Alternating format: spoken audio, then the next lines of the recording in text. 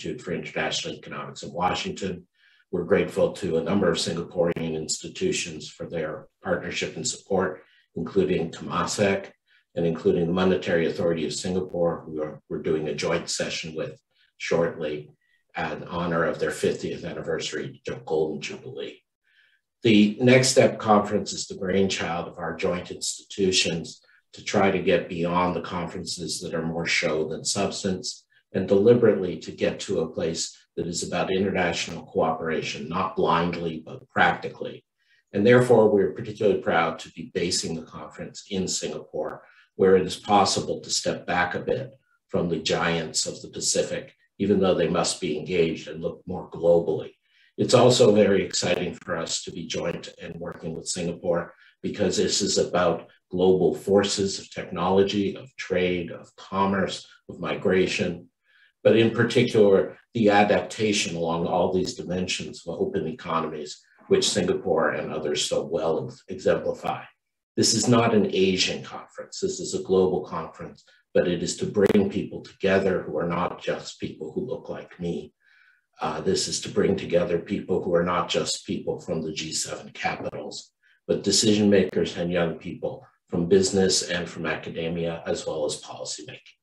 In that regard, we've been very generously supported in the sense of time and spirit by the senior minister from Singapore, Tharman Shanmugaratnam, who leads our advisory panel and has worked closely with Dan and me and our teams to create the conference. A final note before I turn it over to my colleague, Danny Quah. The Next Step conferences are an annual event. This is our preliminary virtual run. There's nothing preliminary about the substance. This morning, we are including a discussion between Tharman, myself, and Secretary of Commerce from the US, Catherine Raimondo. What is preliminary is, of course, like everything else in this world, it is virtual rather than in person. We hope to move to a hybrid, mostly in person format for the launch of the first full conference in May of 2022. The Next Step Conference series will then proceed annually from there. Now, let me introduce my good friend Danny Quah, who is Li Ka-shing Professor of Economics and Dean at the Lee Kuan Yew School of Public Policy at the National University of Singapore. Quah's research is primarily in two areas, inequality and income mobility, and second, supply and demand of world order. It is this juxtaposition of moral and practical that made it such an attractive thing for me and the Peterson Institute to partner with Danny. Danny, of course, is one of the world's leading macroeconometricians. His previous research work concerned technical matters in economic growth and econometrics, including a few groundbreaking studies. He was previously professor in economics and international development at the London School of Economics. Danny, over to you, please. Thank you, Adam, for that very kind introduction and welcome again, everyone, to this Peterson Institute Lee Kuan Yew School Next Step Global Conference. What's this about? It is beyond dispute that the, you know, the arc of our global economy has seen severe disruption since at least the 2000s trajectory of hyperglobalization. There was a time when it seemed unstoppable how increasing ease with which anything anyone made or thought anywhere on the planet was becoming available to ever more of us everywhere. This trajectory has been brought up short by first emerging political frictions, internal in many nations, building on what at first seemed to be just small local challenges in identity politics, community dissatisfaction, but then flaring up geopolitically across our planet. And then following that, actual disruption from many orthogonal directions global pandemic, explicit policy interruption, technological conflict. The world's economic landscape that we navigate today is more tentative and conditional and contingent than it has been for many decades. It's with this, this backdrop that our two institutions, the Peter Institution, Peter, Peterson Institute in Washington, D.C., the Lee Kuan Yew School in Singapore, has come together to work on ways forwards from today's point of tentative contingency in the global economy. We think the well being of humanity depends on all of us taking wiser steps from here on out. And our two institutions are united in two principal ideas, although here I'm mentioning just two, heading up many other points of agreement between us. The first, that hard headed, rigorous thinking, driven by empirical evidence, scientific thinking, is essential for carving out the right pathways ahead. And second, that global inclusiveness in the conversation is key. We need in this conversation that we're building, that we're embarking on, to engage from around the planet as many concerned, thoughtful, and informed voices as possible. So, this next step global conference organized by the Peterson Institute, by the Lee Kuan Yew School, can be only the first of a series that we're going to be building through the coming years. I now want to turn to bringing in Singapore's Senior Minister Tharman Shanmugaratnam, who among many, many other roles as a leading global statesperson, has been, for Adam and me, a driving force and a voice of good sense throughout our organization of this conference. Senior Minister Tharman, over to you, please.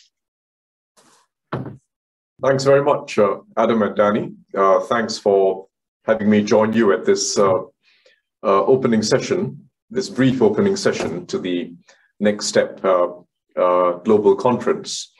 And indeed, the at this initiation of a series of annual conferences that you're going to going to host. it's a very unusual time it's a very unusual phase for all of us, wherever we are globally. And it is a more challenging and uh, complex time for policy making uh, and for politics uh, than has been the case in decades. It's a very unusual time. Danny spoke about uh, the disrupted uh, arc of history um, we don't even know what the trajectories will be. Uh, I don't think we have seen such a wide cone of possibilities, such a wide range of possible trajectories um, that we now see, at least not since the time when China began liberalizing its economy in the late 70s or since the fall of the Berlin Wall. We are back in a world of fundamental uncertainty uh, and the range of trajectories that one can meaningfully and rationally expect uh, is now very wide. And it requires, as uh, Daniel was just saying, uh, inclusiveness in debate and thinking and inclusiveness in the way we shape strategies to serve the interests of a very broad majority of people. It requires global thinking, not just national, and it requires not just hard headed economic thinking, but new political strategies. So it's more complex than we've, more complex and of a scale that's much larger than we've seen in decades. Not just for economic policy making, but for politics everywhere. And part of that complexity comes out of the fact that we're dealing at once with macroeconomic challenges, short to medium term, structural challenges, which will be with us for a while,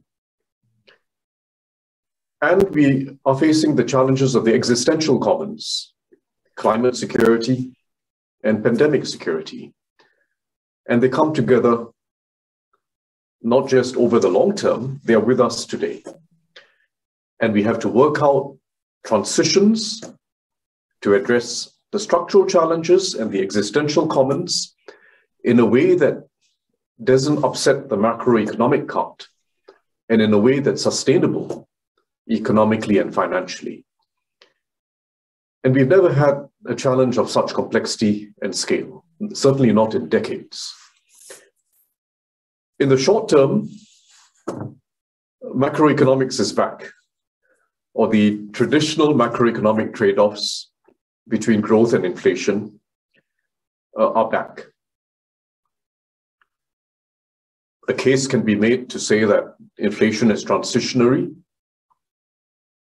The pickup in inflation is transitional because we know that there are supply side dislocations which should hopefully eventually be uh, ameliorated and eliminated.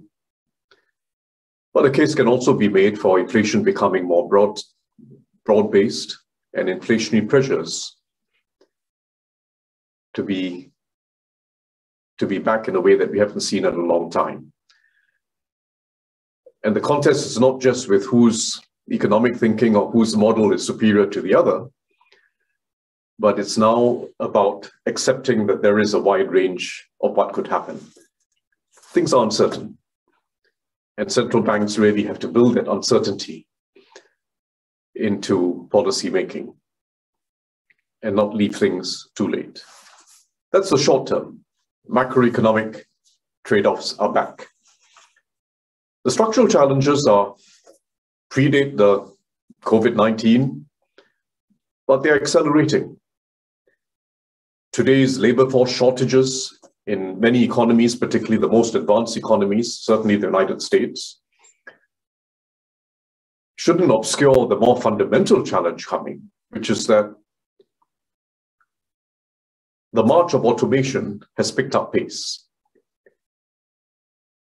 partly because of COVID 19, partly because of the labor shortages, but it's picking up space. And there are many miles to go in automation. And they will face, they will pose fundamental challenges economic, social, political if we don't respond proactively with some force and inclusively. And we should never forget the larger structural challenge, which is that of the potential divergence between the advanced and developing world. And we are back in a world of possible divergences after two to three decades of gradual convergence. There is a very real risk of a rollback in the progress that we've seen in education, in economic development broadly, and in optimism, there's a very real risk of, of, of a rollback. And that's, that is the largest structural challenge we face. The global inequities, which already opened up in a very sharp way during COVID-19, particularly vaccination, vaccine inequities, but it's possibly a, a problem of a much more lasting character which will not just be an economic problem. And then we have the challenge of the existential commons, most complex. A new public policy challenge and a new political challenge everywhere in the world. And by any reckoning, both public policy and private economic activity will have to step up the pace of adjustment in order to avoid disaster further down the road. And there are no simplicities. It will have to involve carbon pricing. It's not just the economists who, who know that, it's now becoming mainstream understanding. It will have to involve regulation, not just pricing. But it will also have to involve substantially greater investment. By reasonable estimate, something like 150 trillion over the next three decades. Investment in renewable energies, investment in upgrading whole electricity grids, investment in clean cement and steel or alternatives to steel, investment in new agricultural technologies. It all requires investment. And the scale of investment is such that unless you move immediately today to vastly higher carbon pricing, which will be disruptive, private markets will be slow to adjust. It requires public-private collaboration. It requires the public sector to get into a whole new game of de-risking of investments to spur and catalyze private investment. And we are past the old debates, the old debates of over the potential and the failures of dirigiste policies. But we now have to enter a whole new arena of public-private collaboration, whether we like it or not, regardless of our ideological priors. We have to get into a whole new game of public-private collaboration to be able to catalyze the massive investments required. And we need, need new ways of financing it. New revenue streams on the part of the public sector, but critically, rejigging financial markets so as to incentivize and encourage the redirection of private investment into transition. So when you put it all together, the short-term macroeconomic challenges, the stubborn structural issues that are now becoming more serious, particularly in the labor market and particularly with regard to global inequities, and the existential commons. It requires that mix of hard-headed economic thinking, political strategy, and forthrightness about the challenges, and inclusiveness. Because without inclusiveness, nothing is going to be sustained politically. Whether it's carbon pricing, regulation, or any of our other, major adjustments. So these are the next steps that we will have to discuss, not just at this year's inaugural conference, but in coming years. It requires a global approach, as Adam and Danny were saying, not just Asian, not just American, it requires global thinking. And I once again commend you and your two fine solution oriented think tanks for taking the lead on this. Thank you very much.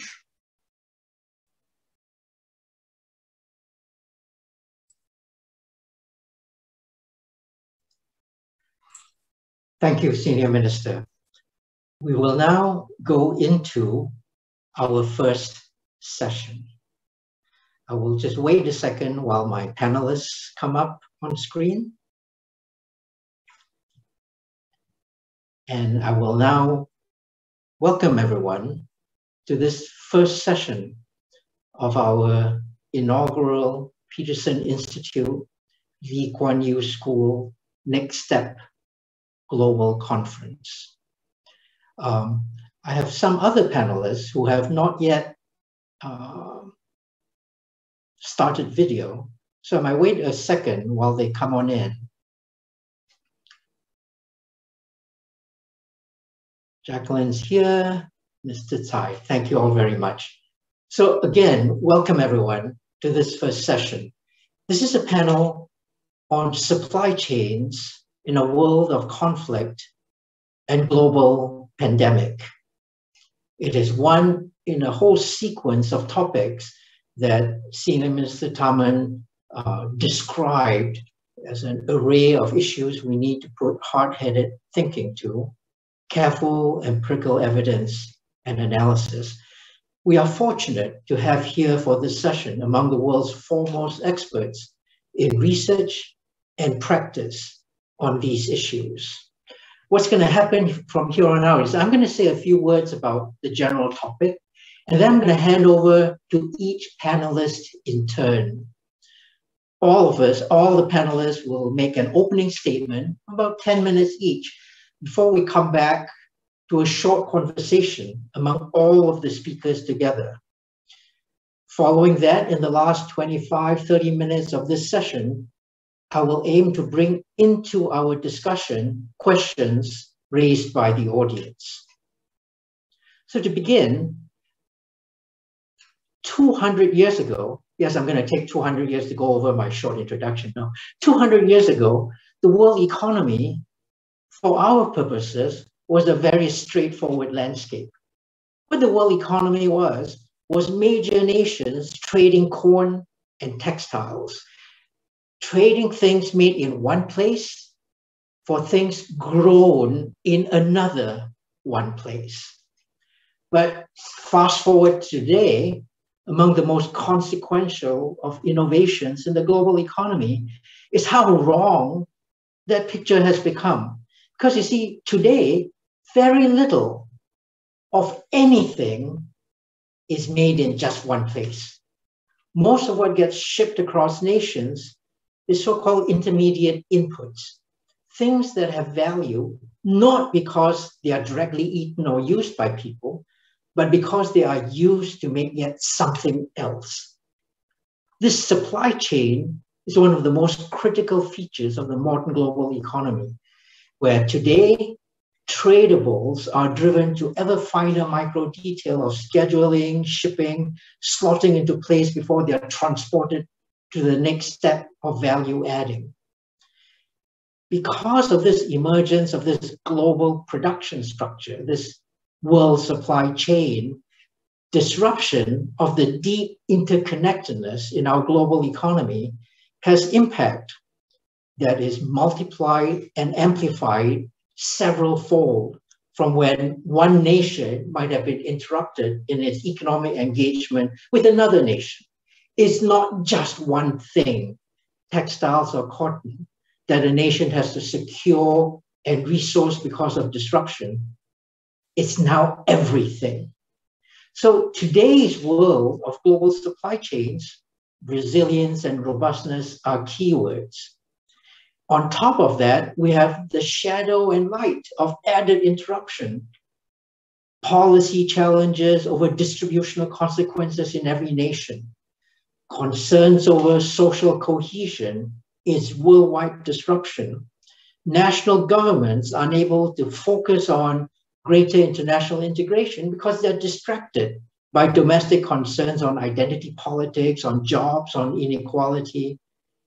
National self interest magnified into populism and nationalism. We have a whole range of political economy concerns overshadowing the previous imperative on globalization. And to add to all of that, the global economy caught COVID, a pandemic, the scale of which hasn't been seen in 100 years. So today, the world sits on the verge of two large imperatives in terms of how it integrates with everyone else. There's an imperative for international cooperation on the global pandemic, and there's an imperative in self-interested separation. Supply chains disrupted in a world of COVID and conflict. Now, as I turn to the, our panel now, I want us to be thinking about the important facts on the ground in terms of supply chain disruption. But then, as our conversation unfolds, I will try and get our panel to also bring out what they see the important challenges are to be addressed individually in each of our nations or jointly across them. So to begin, let me turn to the panel in order. I'm not going to be reading people's uh, bios. You all already have that on websites and, and other things. Didi Basri, formerly Indonesia's finance minister, today, among other things, economics professor at the University of Indonesia. We're keen to hear your views on this globalization, global supply chains generally, but I know that you also have special insight on the political economy challenges in Indonesia and in Southeast Asia. you've thought hard about what alternative supply chain suppliers means, when in a sense, all suppliers can be in the same situation of disrupted or inadequate provision. Great to hear your views here, Didi. Over to you, please. Thank you very much, uh, Danny. Good evening or uh, good morning uh, for the uh, participant. Allow me to use my slides here, but I don't worry, I will limit myself maximum for uh, 10 minutes for my uh, presentation. I, I, would like to uh, share with you the perspective of Indonesia and Southeast Asia regarding the supply chains in the world conflict and COVID. Why Indonesia is rather unique. Indonesia is a country with 270 million population we have a huge domestic market. So some people argue that our dependence to the global economy perhaps will be relatively less compared to country like Singapore or maybe Vietnam or Malaysia. Yeah, but I will argue the other way around.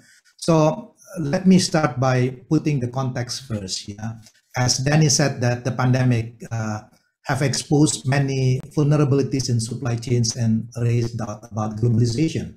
And actually, even before the pandemic, um, there were some pushback about the globalization, but several issues that we learned from this uh, pandemic, um, uh, the dependence for other countries somehow create also uh, political economy problems. Yeah, for example, let me give an example about the vaccine nationalism. Yeah, the shortage of medical supplies, temporary trade bans, which is somehow trigger um, the policymaker to rethinking about uh, again uh, whether is it wise to integrate fully integrated with the global economy or not and this is the chart that i uh, me and my colleague uh, uh, Rahardja uh, look at for the some countries in asia this is based on the global financial crisis back on 2008 it is very interesting that uh, Asia's country that maintain or even increase their share on domestic demand were relatively in a better position withstand a global economic downturn. You know, somehow this is an argument saying that we probably doesn't really need to integrate the you know our economy to the global economy. But let me uh, take you to the case of Indonesia. Yeah, this is just I'll be very brief on this a correlation between investment and import is very strong because 90% of our import is made up of capital goods and raw materials. As a developing countries, we need to import capital. So integration of the uh, economy, like the supply chains, is a very key important ingredient for us to grow. Yeah. So if we try to sort of like you know to shift uh, focus only on domestic economy, then there will be an implication it's going to affect our investment. And even I was talking about this private consumption. When we try to look at the co-movement between the private consumption, our private consumption was mainly driven by the exports. Yeah, the lag effect of export. So uh, one thing that I was trying to say from this is even uh, Indonesian economy, whose domestic market is relatively large, we cannot afford to avoid the global economic integration, let alone other Asian countries whose domestic market are much smaller than us. Yeah, so the issue is uh, we still need supply chain integration, the production network. But exactly like uh, uh, Minister Tharman mentioned in his remarks and also Danny mentioned, uh, this pandemic, this uh, geopolitical conflict somehow create a sort of like uh, resistance towards globalization. Yeah, some politicians, including in my country, started to talk about the risk of interdependence, especially when the issue of this vaccine nationalism yeah. Um, Danny, perhaps you remember in the, the early day of COVID, about a year ago, we sit together with other uh, Asian economists. We try uh, call for the policymaker to continue for the cooperation and integration. Yeah, because we are worried about this is everyone just focusing on their national interest. What is happening in the case of vaccine is a very good example of this prisoner's dilemma because everyone is focusing on their own self-interest. We cannot we cannot solve this global problem. Yeah, because we need to cooperate. And then at the same time, we do have some problems about these political economy factors because, as I said, you know, every country tries to secure their own interests. They don't want to be dependent to other country. Yeah, and when the economy is slowed down, the easiest way to put the blame is identity politics. And this is not unique for Indonesia, also in many countries in Asia, in Europe, even in the US. Yeah, but one thing that I would like to, we can discuss about it later on. This is not only about the national interest identity politics, but also about the issue of the rent seeking, because the interest group would like to protect their business as well, yeah, from the competition. Yeah, so this is a sort of like mix of various factors. So I would imagine that the political pressure yeah, will continue to increase the domestic production, employment home countries, and then uh, reduce or even eliminate the dependence on source that perceive risky. This will be the, the, the context. That is why we can see the pushback on the globalization. Unfortunately, Danny, and this, uh, in this uh, current global uh, situation now, it's very difficult to expect there will be a unilateral reform because politicians will say, why should I open our economy if other country doesn't want to open their economies. Yeah. At the same time, we see um, the multilateral prospect is not clear as well. So perhaps we are not talking about the first best world, but probably one of the possible solution for this is regional cooperation. Yeah, we keep the regional cooperation. But we can only talk about regional cooperation provided that every members could feel the benefit of it. Yeah, this is the, the, the pushback of globalization. But on the other hand, we realize that consumers continue wants to low price. And a country like Indonesia and some countries in ASEAN, domestic capacities are limited. Yeah, we cannot pass through the impact of this inefficiency. Yeah, um, pandemic also affect the domestic sectors. So even we try to renationalize, it won't help because the domestic sectors also affected. So uh, this is very interesting, yeah, if you look at ASEAN.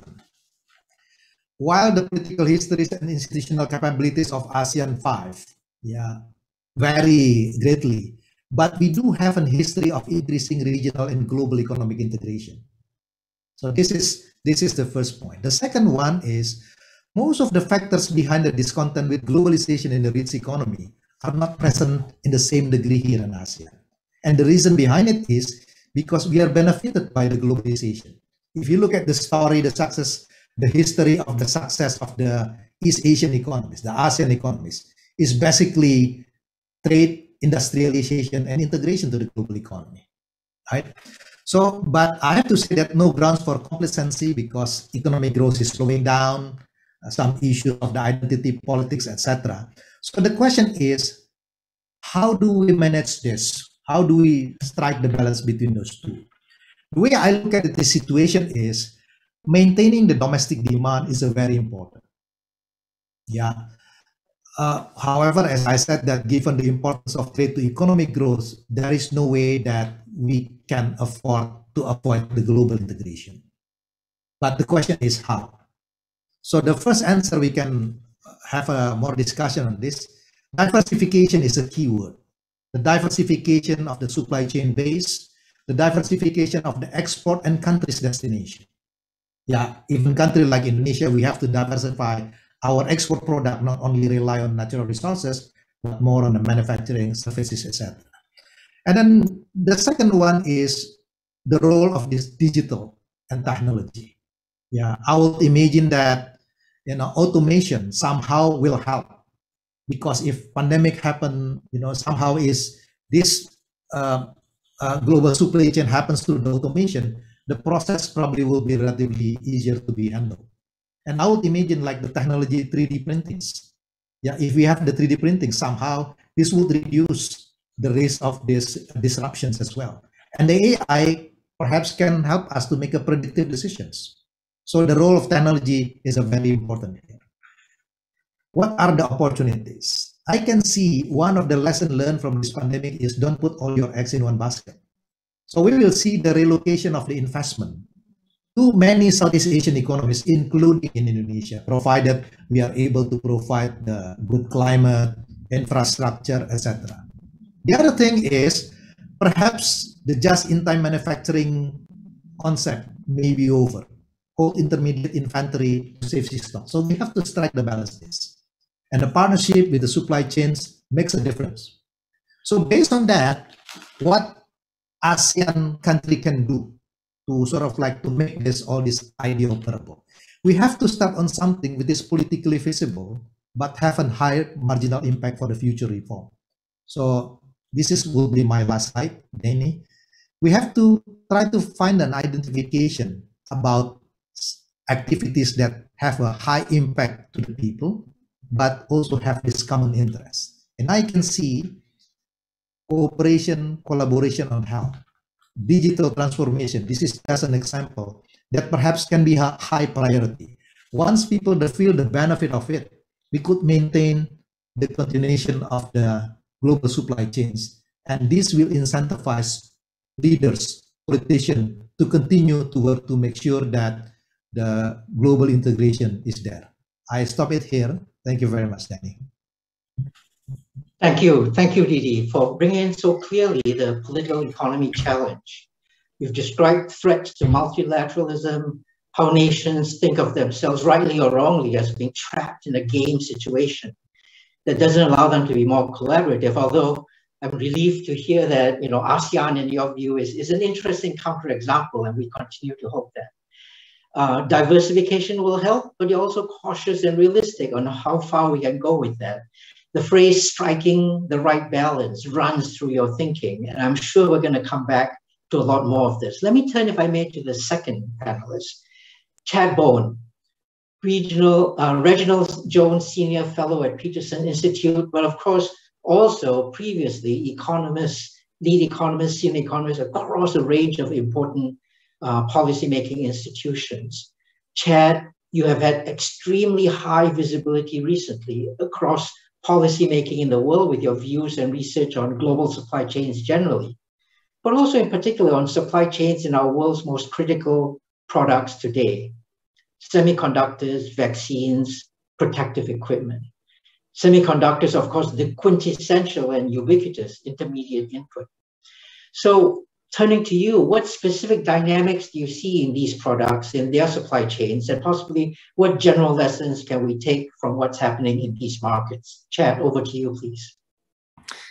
Thanks, Danny, for the, the kind introduction. Um, it is wonderful to be with you all today. So indeed, I'm going to um, talk about what I thought would be useful to help kind of set the stage for this session, which is what's going on right now uh, in terms of policy, at least, for those three critical supply chains that you mentioned uh, semiconductors, the vaccines that have turned out to be so important during the pandemic, uh, and as well the experiences of personal protective equipment um, for healthcare workers and, and, such. Let me start with semiconductors.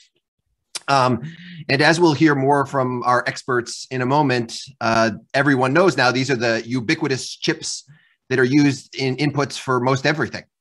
Um, they are their supply chains are under scrutiny today, and that's primarily because with the pandemic, demand demand and and um, has shifted and spiked. And what it has meant is, with too few of these chips, the automotive sector, but not just autos, others as well, have been forced to cut production. That's put pressure on their workforces that are already struggling with the pandemic and the recovery. But semiconductor supply chains were under stress well before the pandemic.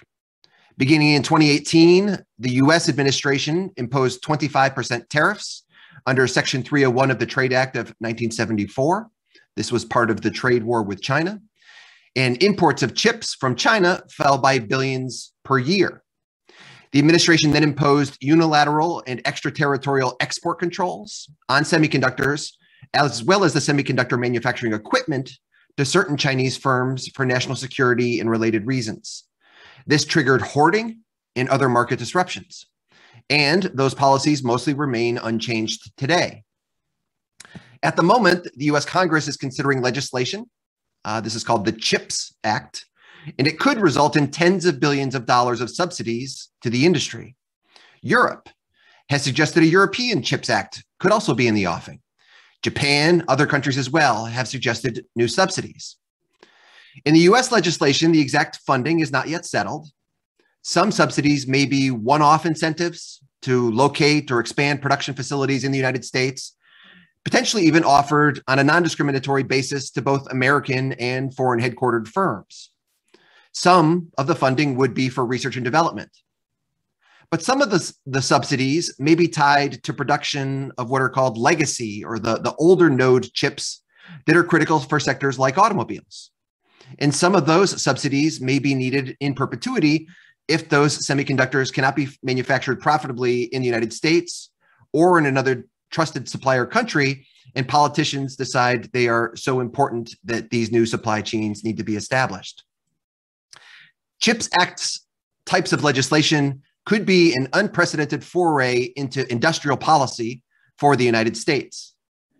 Obviously, that raises a number of mm-hmm. concerns, one of which is the difference between the speed at which this particular industry operates and its technology evolves, which is incredibly fast, and the speed at which governments change policy, which is incredibly slow. Policymakers also lack access to the detailed data on what is produced, where, and by whom as well as the real time demand information revealing which automotive, medical device, consumer electronics, or other company is running short on chips at any moment in time. To reduce the chance of policy failure here, the United States and other trusted supplier countries should cooperate on a semiconductor supply chain resilience policy. That means coordinating on things like export controls. So the United States isn't just imposing them unilaterally, as well as on any subsidies to highlight research and development and to ensure diversification across nodes, the types of chips being produced, as well as suppliers and locations. However, I do worry about the United States suddenly giving up on the fight against other countries' semiconductor subsidies. Even though they have made progress with the European Union, for example, through this thing called the brand new Trade and Technology Council, both the US and Europe are naive to think that places elsewhere around the world, Taiwan, South Korea, Japan, and of course China won't just simply respond with more and more subsidies of their own. A result could therefore be global overcapacity, new problems, allegations of dumping, tariffs, and potentially market segmentation down the road. My second example is of COVID 19 vaccine manufacturing supply chains, as this has become a second important uh, area for US policy. Now, to start, of course, the speed of scientific advancement in the emergence of manufacturing supply chains for vaccines from Pfizer and BioNTech, Moderna, Johnson and Johnson, and AstraZeneca in the United States, in Europe especially, uh, as well as India and some other places around the world. This has been extraordinary. Policy played a sizable role, but it also could have done better. The United States, for example, used Operation Warp Speed and the Defense Production Act to expedite the vaccine development and manufacturing process. Washington allocated more funding to scale up manufacturing at risk and over the entire vaccine manufacturing supply chain, including critical raw materials and equipment. A really, really important question is why other countries didn't. Why didn't other countries also subsidize input expansion in particular? Yet, despite the US subsidies, those key inputs have been in scarce supply both within the United States and globally. Now, the US used the Defense Production Act to give policymakers some visibility into those supply chains to help those scarce inputs be allocated and prioritized to plants manufacturing the priority vaccines. Those policymaker decisions have necessarily been imperfect, given shifting conditions brought on by the pandemic. Some supplies have been given to vaccine manufacturers that regulators have not accepted. Look at the CureVac example. But leaving such input allocations purely to markets would likely have resulted in other supply chain problems. However, the allegations that the United States banned exports of inputs, even though subsequently refuted by the data, does identify the need for additional transparency, information sharing, and cooperation with key partners. Though the United States and Europe, for example, have been cooperating informally since March of 2021 to resolve vaccine supply chain bottlenecks, their joint task force was only formalized this past September. Furthermore, that positive effort should be expanded. In the case of vaccines, it should be extended to other critical countries in the supply chain, including India, perhaps through the Quad initiative. And lessons learned there should be shared with other supply chain resilience policy initiatives, such as what we're seeing with semiconductors. Nevertheless, nevertheless, it is certainly true the US, EU, UK, and India all engaged in what we've already heard about vaccine nationalism, as was expected. Each failed to export enough final finished doses of vaccines quickly enough to build on and support COVAX and to follow global public health objectives by prioritizing healthcare workers and the most vulnerable populations globally to reduce the likelihood of the emergence of variants. The third supply chain I want to talk about briefly is personal protective equipment. The United States, Europe, and many others around the world experienced PPE shortages early in the pandemic. Many countries, including the United States, imposed export controls. Furthermore, the United States also eventually allocated over a billion dollars of subsidies to expand capacity across its domestic PPE supply chain, not just for products like surgical masks and gloves, but also the critical inputs like the fibers, the rubbers, and the filters needed to manufacture them. A domestic PPE industry in the United States has now emerged. Many companies that did not receive government support also responded to price signals by entering the market. However, as the pandemic recedes and prices fall, much of the US industry may find it difficult to compete with lower cost imports, primarily located in China. Yet the early days of the pandemic revealed that an excessive global concentration of residual supply for the PPE was coming out of China. Now, China's export expansion beginning in April 2020 did eventually save many millions of lives globally. But unfortunately, its export shortfall during the pandemic's early days likely cost lives. Thus, cooperating over PPE supply chains will need to provide the United States and other key partners with the opportunity to encourage diversification, as well as potentially improving domestic policies on things like procurement, inventory management, stockpiling, and regulatory policy. Finally, to, to conclude, the experiences of semiconductors, COVID 19 vaccines, and PPE all argue strongly against, strongly against purely domestic supply chains and autarky. Trade in these sectors has been critical throughout the pandemic. No one has been spared the need to lock down at some point. Policymakers must therefore resist calls for excessive concentration of production domestically, which could create even more vulnerabilities. Supply chain resilience thus means additional transparency, inventory management, and diversified sourcing with trusted partners, as well as new commitments to quickly engage and cooperate on policy when an emergency strikes, especially to expand production. We have not seen that in this pandemic. From here in Washington, let me conclude by saying US supply chain resilience policy is still a work in progress, but there are some signs of potential cooperation. The US EU partnership is perhaps the most advanced to date, though there's still a, lot of work there to go to ensure that we do it better in the future. Thank you for letting me be a part of this, this session today. Thank you, Chad. On semiconductor chips, we're of course going to come back and hear more from MediaTek's Mr. Tsai in just a while. But Chad, your stories are fascinating. Policies on these intricately intertwined supply chains cannot be isolated and must not be overly concentrated. Our early experiences in responding overly hastily to these have led to just a plethora of patches that we've tried to put one on top of another. And the stories are all different.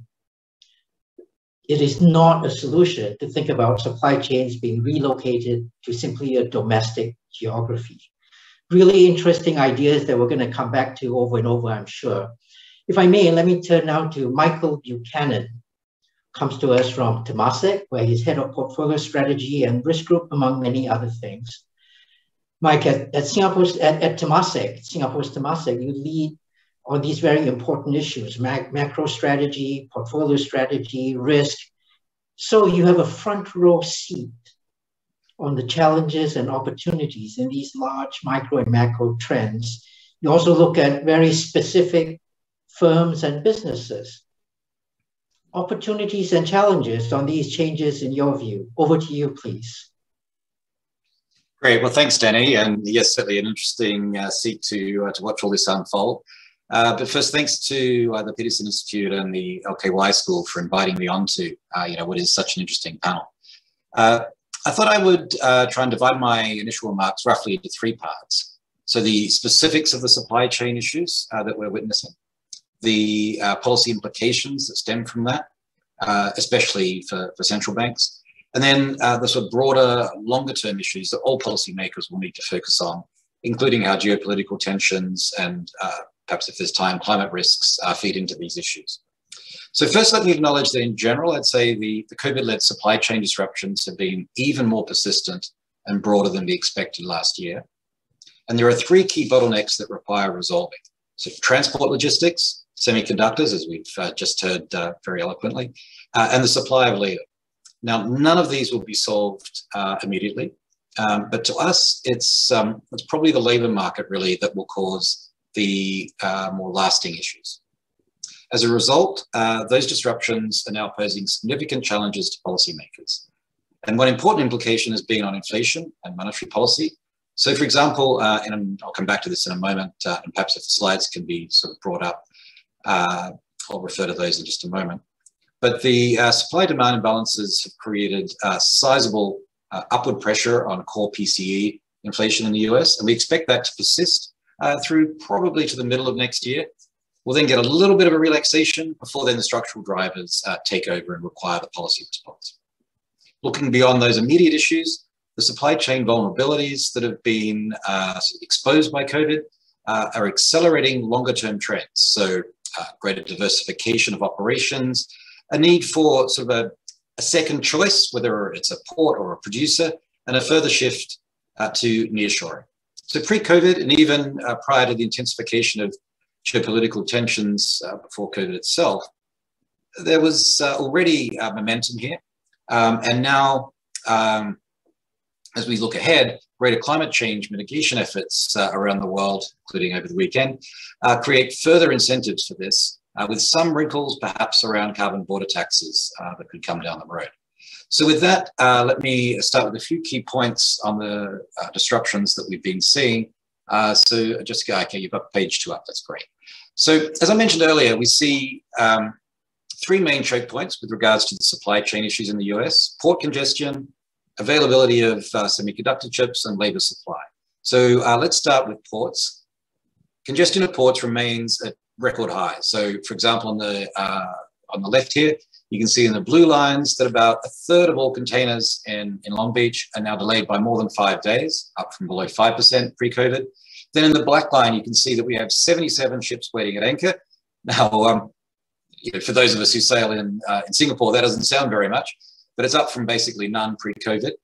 And associated with that, you can see the huge spike in freight rates on the right. So the green line shows uh, the rise in air freight rates, uh, which have tripled since the, uh, the 2019 average, Well, the black line shows the rise in uh, freight rates by sea, which are up an even more staggering 12 times on the Shanghai to North America. Now, the bad news is that uh, you know we don't really see any immediate fixes for the underlying supply-demand imbalances at ports. It could even get a touch worse before it improves next year. I mean, ports are still constrained by their uh, capacity to handle containers after they're unloaded, labor shortages, warehousing space, uh, even just a lack of enough equipment are being cited as the main obstacles uh, that we hear uh, to accelerating uh, more containers. And so, you know, even though, yes, you're seeing a move to 24 7 operational hours for ports, it may not help that much for a while. So if we assume no more surprises, so, you know, no more major port lockdowns in China, then uh, it's probably the case that we'll only start to see a more uh, significant easing after Chinese New Year uh, in February next year. Uh, because during that period, uh, you know, the Port of LA typically sees a, a decline of about 25%. Uh, so that'll allow them to kind of clear up some backlogs, but really you're looking right into, um, you know, mid to, to, late 2022 to, to clear all of this. Now, sure, you know, some of the things that we hear uh, from those involved. Um, there might be some, we might call sort of front loading or double ordering. Uh, you know, when you have these constraints, people might want to sort of order a little bit more, a little bit earlier. Um, no real hard evidence on that. I mean, no one's going to really announce it. Uh, but if that is true, uh, that could add a little bit of strain up front, but then provide more of a breather uh, after the, the Chinese New Year holidays. Um, so again, that sort of adds to, uh, you know, nothing's going to improve until we get right into next year. Uh, so Jessica, if you can click to page three, please. You can see that uh, semiconductor shortages have also been a major stumbling block. We're now over a year into the deepest chip shortage in decades sales volumes down, you know, sort of 20% below trend at the trough, lead times 40% above normal levels. Uh, a little bit like, you know, what, what, you know, we've just heard, but this is against, you know, strong secular demand uh, after COVID, uh, 5G rollout, um, cloud computing, uh, switch to electric vehicles, strong, you know, PC, smartphone, gaming upgrade, given everyone's uh, in lockdown. And it may not be until the second half of next year again that we see those uh, supply demand uh, imbalances uh, return to, to normal. There'll probably be some variation uh, within the industry. Um, so funnily enough, this time it's sort of the, the basic chips where it could be even slower to see a resumption of normality because of a lack of investment in recent years, uh, plus a significant increase in demand for uh, the applications for those chips. Uh, I think, you know, sort of IoT and, and autos. So, you know, no matter where you look, and you can see that, uh, you know, in uh, the, uh, the, the, chart here, uh, you know, you're seeing um, uh, inventories incredibly low, uh, green for Taiwan in the top left, Korea in blue on the bottom left. The lead time for chips, three to four times longer than, than average, you know, in some areas 34 weeks rather than eight to 12 weeks. The largest bottlenecks currently in, in this part of the world, Southeast Asia, uh, partly because of some um, choking in, in supply chains in Malaysia. Uh, and so um, it could really take some time, as I say, before all of this uh, is reduced. So what's sort of been happening in the industry? Uh, there has been quite a lot of announcement of, of new investment, TSMC uh, investing over 100 billion over the next three years to increase capacity. That could even be increased uh, Intel has broken ground on construction of uh, a couple of new fabs in Arizona. Uh, they're meant to be ready in um, uh, 2024. Uh, they're also looking at adding more facilities elsewhere in the US and Europe. GlobalFoundries, of course, investing 4 billion in Singapore, billion in New York, um, more in Germany. Uh, the Singapore facility should come online in, in 2023. So there's a lot going on. But you know, semiconductor manufacturing is, is probably one area where geopolitics uh, will have a very important uh, role uh, to play. Um, many governments, of course, have been encouraging strategic onshoring and chip production. Uh, that will, um, you know, that cause maybe a, a, broader geographical footprint for production, less reliance on Taiwan, but less um, less efi uh, efficiency. So the US, um, EU, Taiwan, South Korea, Japan, China, they're all uh, setting aside money that adds up to over a trillion dollars to support local chip production. And you know, even in this space, which obviously has a lot of economies of scale, that's some pretty serious money. Could create some distortions. But I guess the bottom line to us is, you know, TSMC, Intel, Samsung, you know, they've got first mover advantages. They've created the IP and scale and the kind of broader ecosystem, economies of scope barriers uh, that will help um, their, their countries. So our best guess is in the long term, you know, Taiwan, TSMC, um, you know, will continue to dominate advanced chip production. But I think you know Arizona and the US could become you know quite a credible ecosystem uh, also for advanced chip production.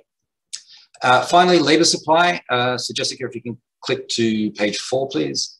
Um, the difficulty in getting qualified labor uh, remains a key bottleneck for firms, particularly in real estate and industrial companies. And so, so far, we've seen the largest wage increases for those in the lowest paying sectors and people staying out of the labor market due to childcare needs, the direct risk of getting COVID uh, in particular. Um, and so going forward, uh, you know, these sort of COVID specific reasons for lower labor force participation should fade, uh, along with the expiry of some of the expanded unemployment benefits. Um, and as schools reopen, and as hopefully the healthcare concerns are diminished through vaccinations, we would expect those labor supply constraints to ease, um, but not fully. Um, there will be you know, some early retirement, some reduction in participation uh, more permanently. Um, so far, though, what you know hasn't really played out in terms of people coming back into the labour force, but we do expect that to have a more meaningful uh, impact going forward. Now, that said, I think it's important to remember we've had a much larger uh, fiscal and monetary stimulus this time around than, for example, during the GFC or uh, any other uh, shock, really, uh, even when you put it against the size of the initial macro shock. And so we're more likely to see meaningful tightness in the labour market uh, in the years ahead. Now, just uh, briefly, um, just if you go to slide five, let me just sort of bring this back to what it means for policymakers, at least, you know, monetary and macro policymakers. Um, you know, obviously a key channel of impact of all of this is via inflation and, and therefore monetary policy. So uh, on the right, you can see that durable goods, which is the uh, dark blue line at the top, that has dominated the rise in inflation so far, but services is now starting to move and we expect that to continue. And on the left, you can see the starkest increase in prices owing to the supply demand imbalances, particularly in new and used cars, apparel, household appliances, recreational goods. So overall, we estimate that at the, the peak back in May, uh, the supply constrained categories added uh, at least 140 basis points to core PCE inflation. So with the supply chain issues expected to resolve themselves only around the middle of next year, as, as I was just saying earlier, um, alongside the consumer demand substitution back into services, uh, we expect prices in the supply constrained categories to remain elevated to the middle of next year and then go into actually being a drag on inflation. Um, and most of the temporary price increases should at least partially revert to their pre-pandemic trends. Um, then together with a probably a smaller than average contribution from medical services, given that prices there are being boosted by uh, COVID legislative factors that will expire at the end of the year, uh, we would expect core uh, PCE inflation um, to fall and perhaps even briefly come in below the Fed's 2, 2% target in the second half of next year, um, then uh, we would expect things that, that there's some more structural drivers of inflation, including uh, housing costs and as equivalent rent and so on, to accelerate. Uh, and the tightness in the labor market uh, would continue, and then that would drive inflation back above target and require a monetary policy response. Our base case is the first hike from the Fed would come in 2023, but the risks are for uh, an earlier takeoff. Um, now, I think um, yeah, I touched a little bit on the geopolitical uh, tensions. I think there's a lot more to say on that, but perhaps uh, we can cover that a little bit more uh, in subsequent sessions. So with that, Danny, let me hand it back to, to you. Thank you. Um, thank you very much, Michael. Indeed, we will come back to these geopolitical issues. I'm very glad that you've you've highlighted how it is so central in our in the, the narrative we have today of semiconductor manufacturing. It is so critical. Uh, one of the, I mean, among the very, very many interesting facts you've given us is something that uh, for me was quite unexpected because what we've got now in this, in this emerging situation is actually tightness in the labor market and most rapid growth in sectors that are lowest paying. So we've got an added bonus, as it were, in this unexpected reduction in inequality and rerouting supply chains for these reasons might have uh, uh, yet other implications for public policy thinking. Really interesting what you've brought out us. Thank you very much. I want to turn now to Jacqueline Poh. Jacqueline, you are Managing Director at Singapore's Economic Development Board. In Singapore, as you know, we refer to this fondly as just EDB, and you have also held key positions in Singapore's public service across many, many different domains, technology, labor markets, finance, defense.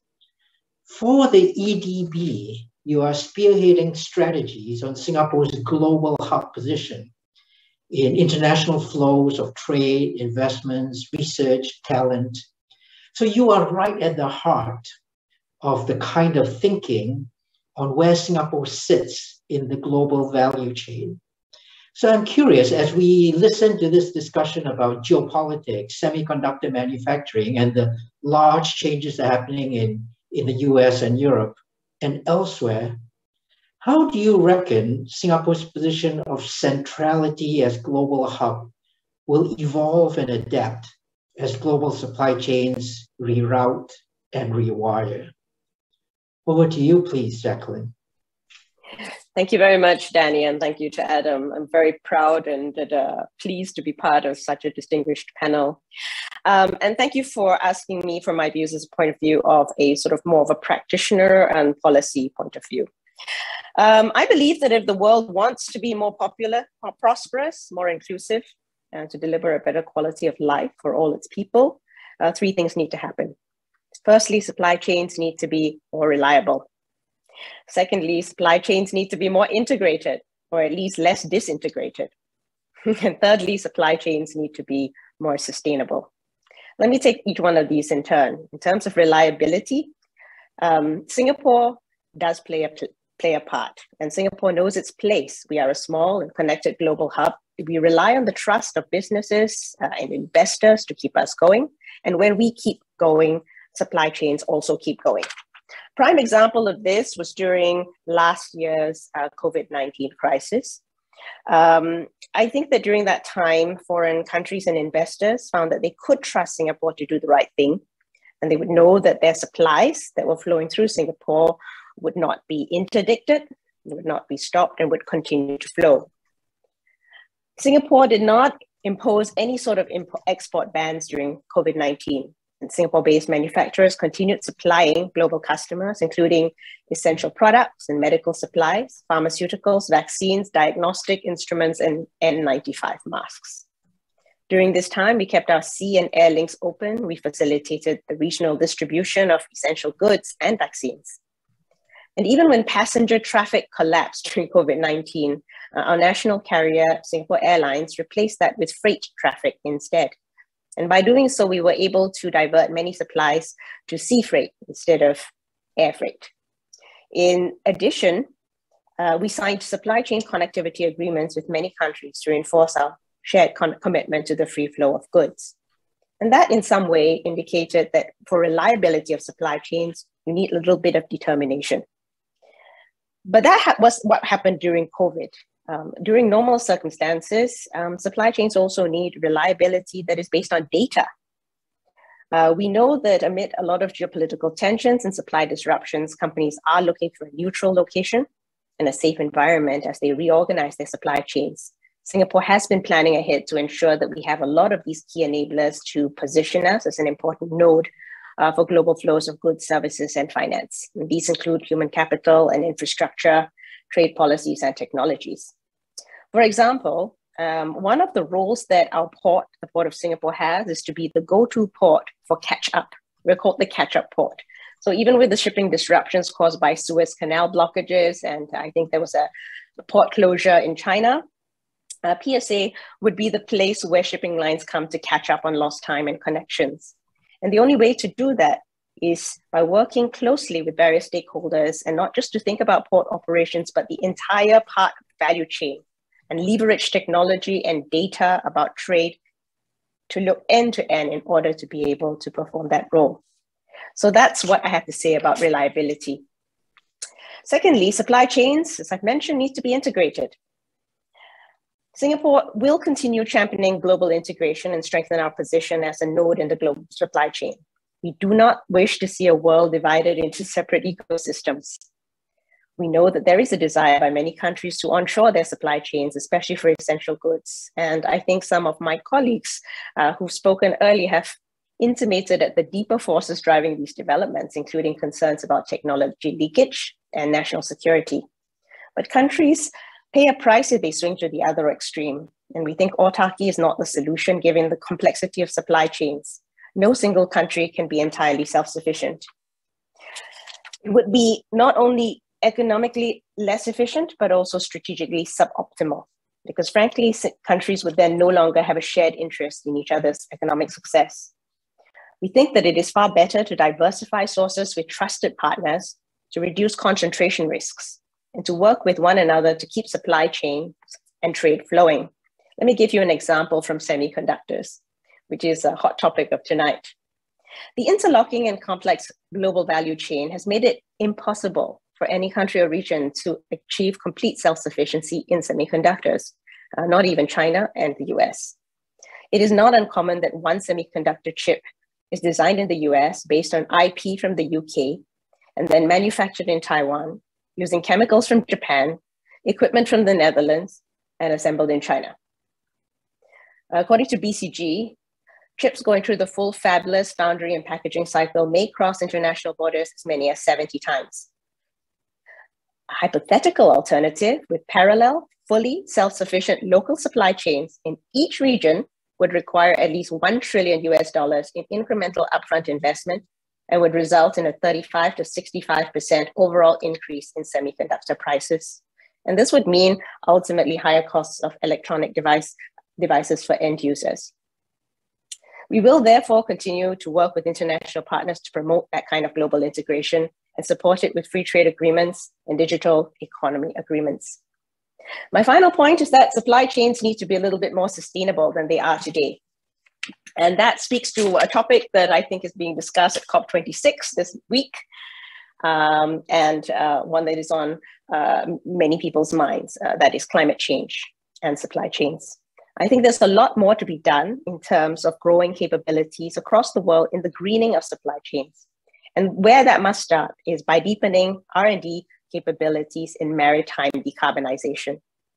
A lot of work is being done here on the research and trial of alternative fuels, such as green hydrogen, and also in the electrification of vessels uh, in the sea.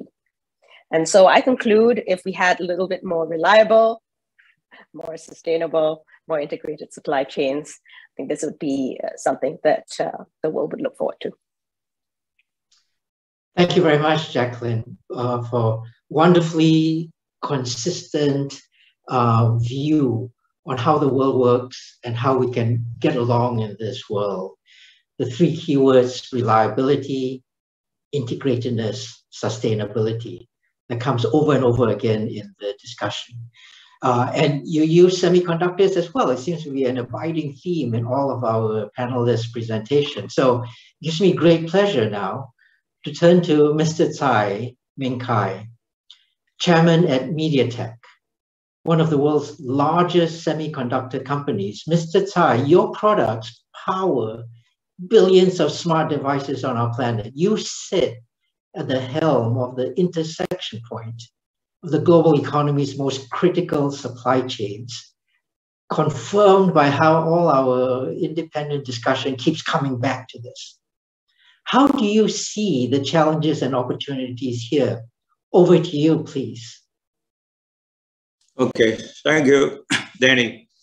Well, since so many has been some of the peer speakers touch base about semiconductor, so I would like offer some of my observation and comment on the semiconductor supply chain, more specifically, also in the broader context of supply chain and war conflict. Well, the COVID-19 is not the only cause of IC shortage in the auto or other industry. Actually, the reason for IC shortage pandemic is one reason. But actually, the most uh, important reason is we are undergoing the digital transformation even without COVID. And COVID actually accelerates this uh, digital transformation, especially now we are in 4G to 5G transition and IoT everywhere, and also the machine learning, AI development of the last 10 years cause everything to be more intelligent. So this is the most important digital transformation. And another reason is also, the underinvestment of the so-called mature technology in the semiconductor technology node.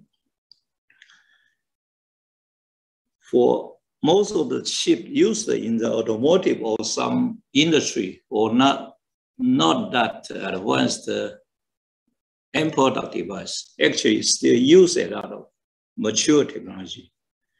These much cheaper made by fully depreciated equipment. However, the return of making new investment in the mature technology is low compared to investment in the cutting edge advanced technology because uh, the return is low, so foundries have less incentive to make such an investment. So the, the reason the current capacity cannot supply to all the big demand in this the digital transformation.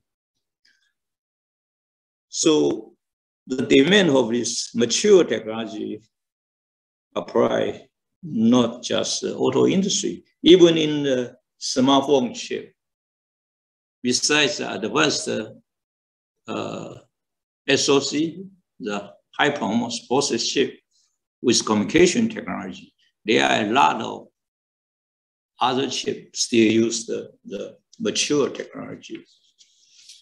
So as the new equipment, new investment into mature technology actually will become more expensive. So because of, of that, the farmers will need to be compensated for their investment. So for a new investment, even just to catch up mature technology, actually, we the customer all has to be prepared for this uh, higher cost.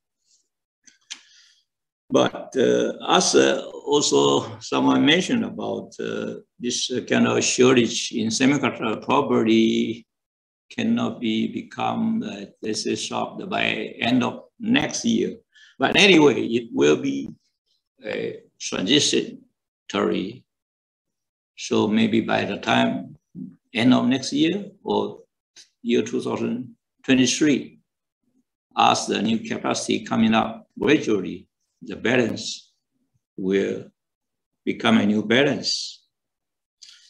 Besides the supply chain and the new investment for the capacity, I would also like to offer some macro view from the semiconductor technology advancement.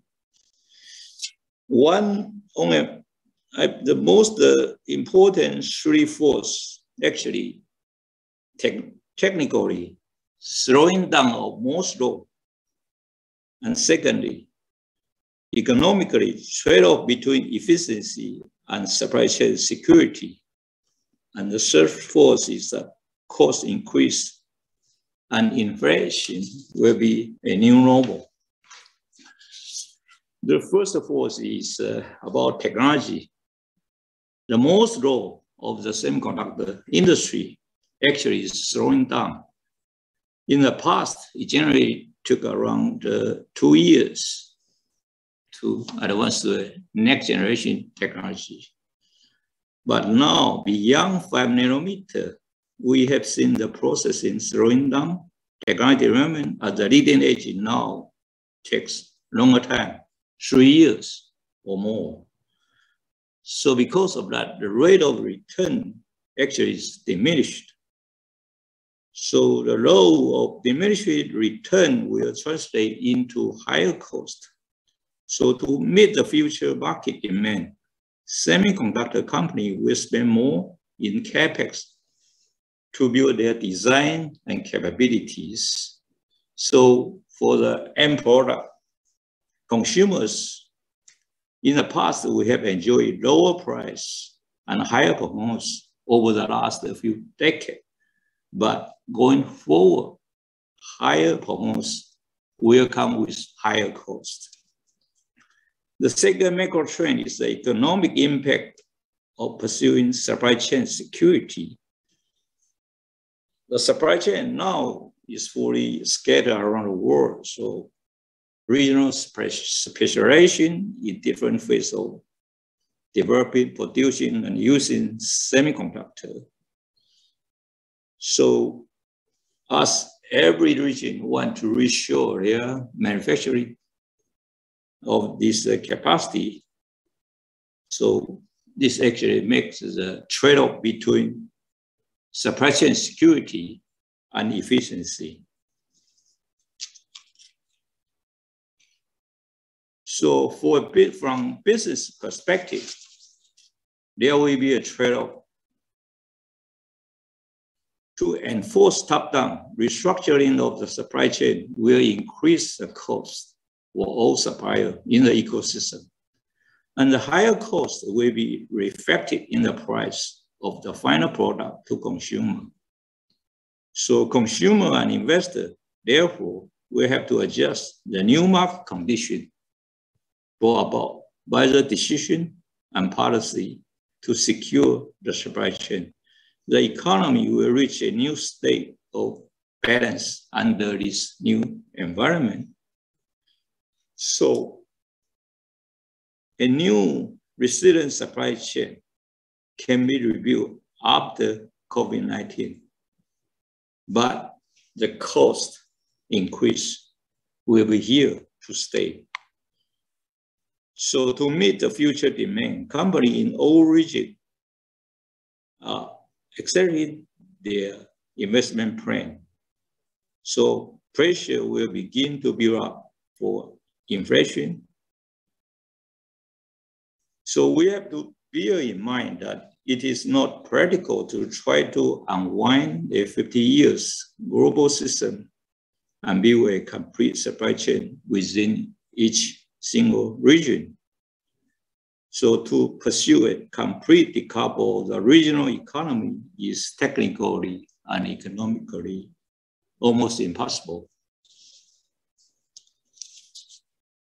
So this is uh, end of my observation. Thank you. Thank you very much, Mr. Tsai. Thank you very much from, from, for, for these views from where you sit. I've got a lot of questions and not a great deal of time. So I want to just get a, first a question warming up everybody here, where you know you've talked about Michael has mentioned geopolitics, Dede has mentioned the political economy, and Chad has talked about collaboration across different geographies. Uh, Jacqueline has told us about how you know there are certain key principles to continue to keep in mind as we listen to Mr. Tsai's views on how semiconductor was evolving. I, I try and put all this together, and I think about the title of our session. The title of our session, Supply Chains in a World of Conflict and COVID-19. And that world of conflict and COVID-19, one of these, COVID-19, is an exogenous shock to the system.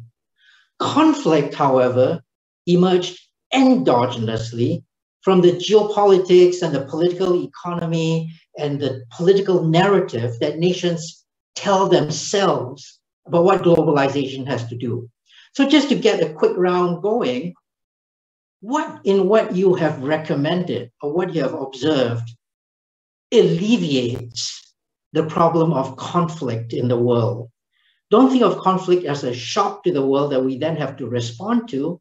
What in what you've recommended ameliorates the problem of conflict? Maybe, Chad, I can begin with you because you've thought about how we build modalities of collaboration across different geographies. Let me begin with you.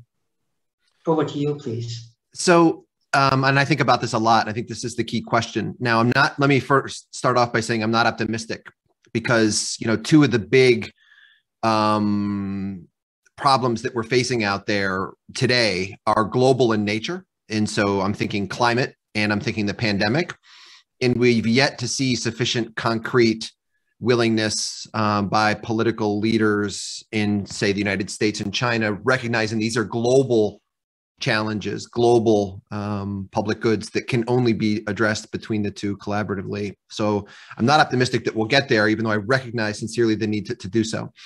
More proactively. So in my example, what I did is I walked through um, three examples where we really do probably need increasing supply chain diversification that I'm not sure markets are going to deliver on, right? Because markets largely uh, ended up where we were on PPE, semiconductors, where arguably there's too much concentration for the high end stuff, at least in places like Taiwan uh, and and and South Korea, and vaccines. Now, the challenge, though, is, um, or where the opportunities might lie for collaboration, is everybody recognizing there's too much diversification and trade-offs associated, you know, recognizing there's trade-offs associated with there. So in the old days of trade agreements, we would say, I'll cut my tariff on steel if you cut your tariff on wheat, right? Here, we need to collaborate on kind of supply chains.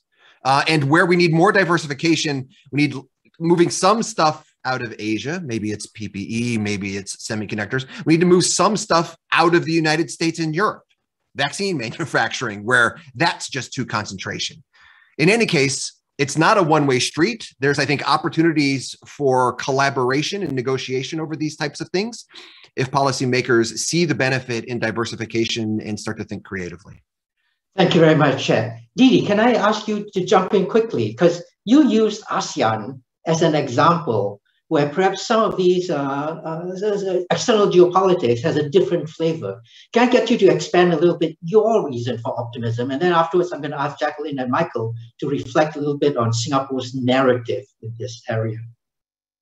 Thanks, Danny. I'm, I'm trying to be optimistic on this, but I'm not really sure because the geopolitical situation uh, is uh, rather difficult nowadays. Yeah, you asked me about about ASEAN uh, I think ASEAN's position, at least, you know, of course, leaders doesn't want to state it clearly, but we don't want to choose if there is a tension between or conflict between China and the US. Will be very difficult for us to choose, right? So that is why the idea of this ASEAN centrality become very important because it will be very difficult for us, country like in the ASEAN and uh, Southeast Asian economies, to deal with China bilaterally yeah and this is this is this is the thing that uh, is very difficult for us.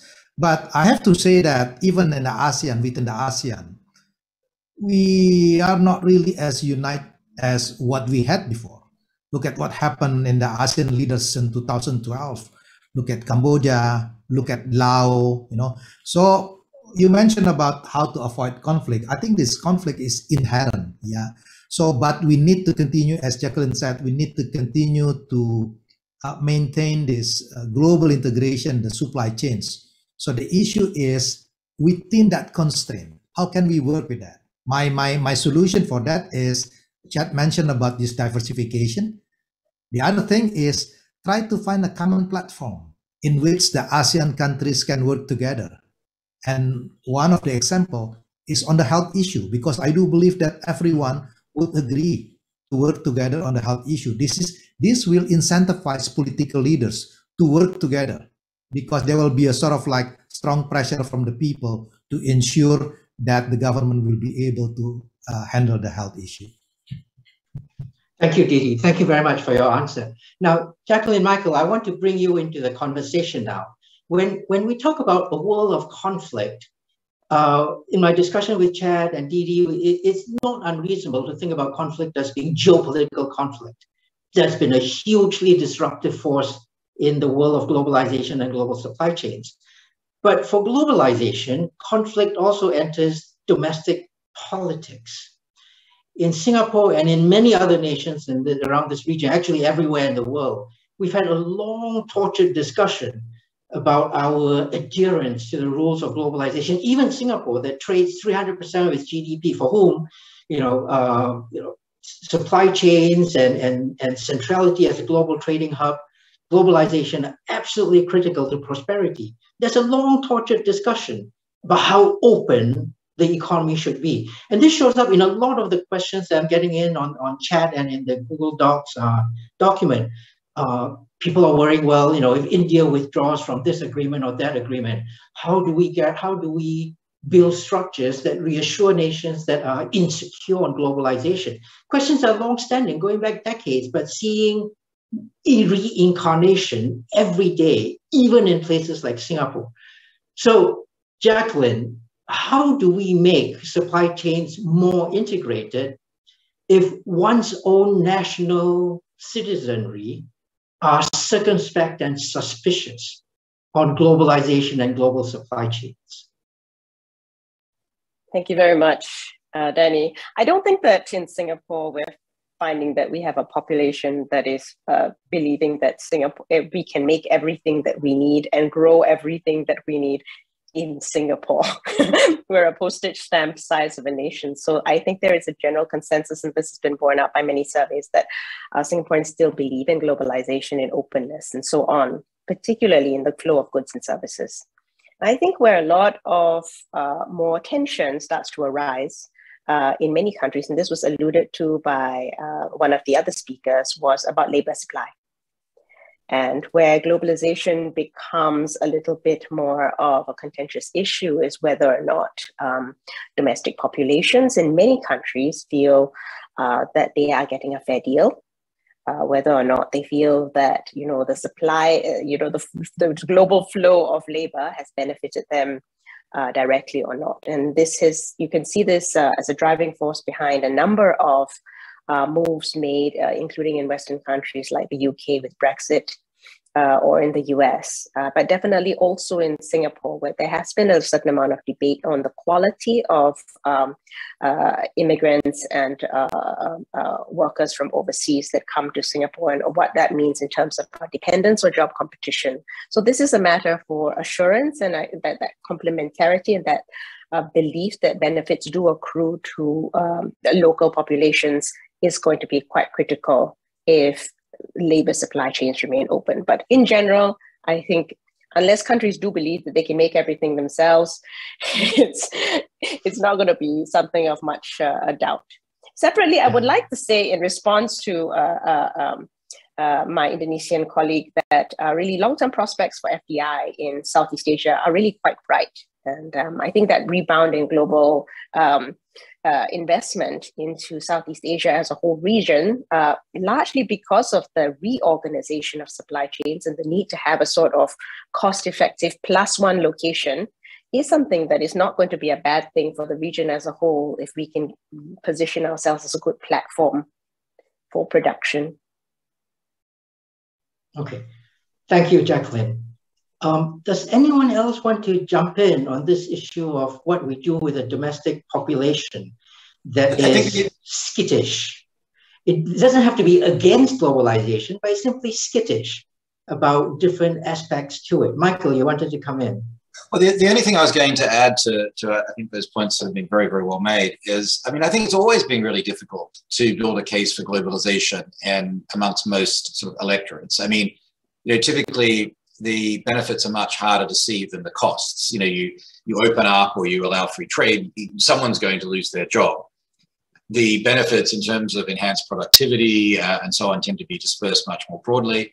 Often the goods that become cheaper are things you don't buy as often, uh, so you may not fully appreciate it. So I think that's always been really hard. But I think the positive that could change in the future, at least in many economies, is that we are now starting to see a bit of a redistribution um, of the economic pie away from capital towards labor and particularly towards lower end uh, or lower wage uh, workers.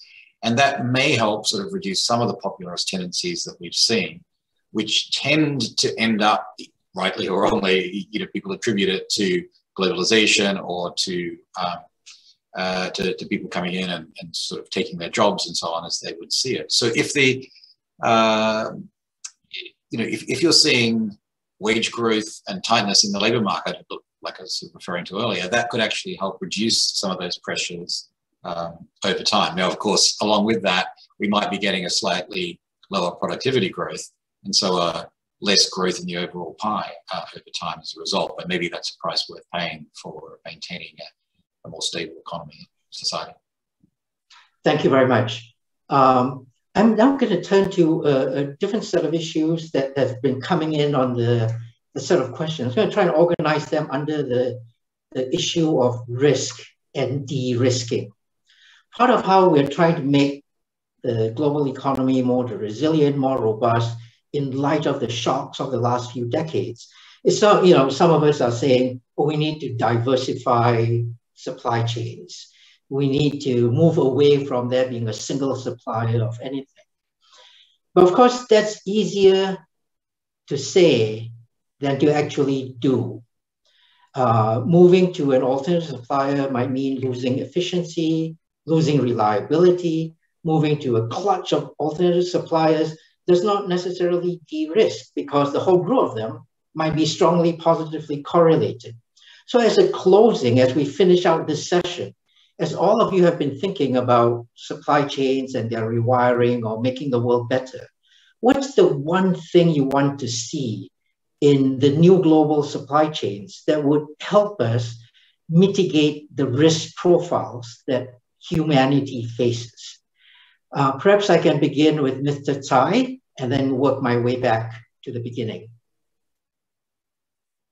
Oh, okay.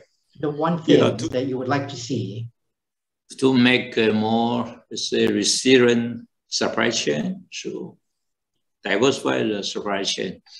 As I said, since no one single region can do that.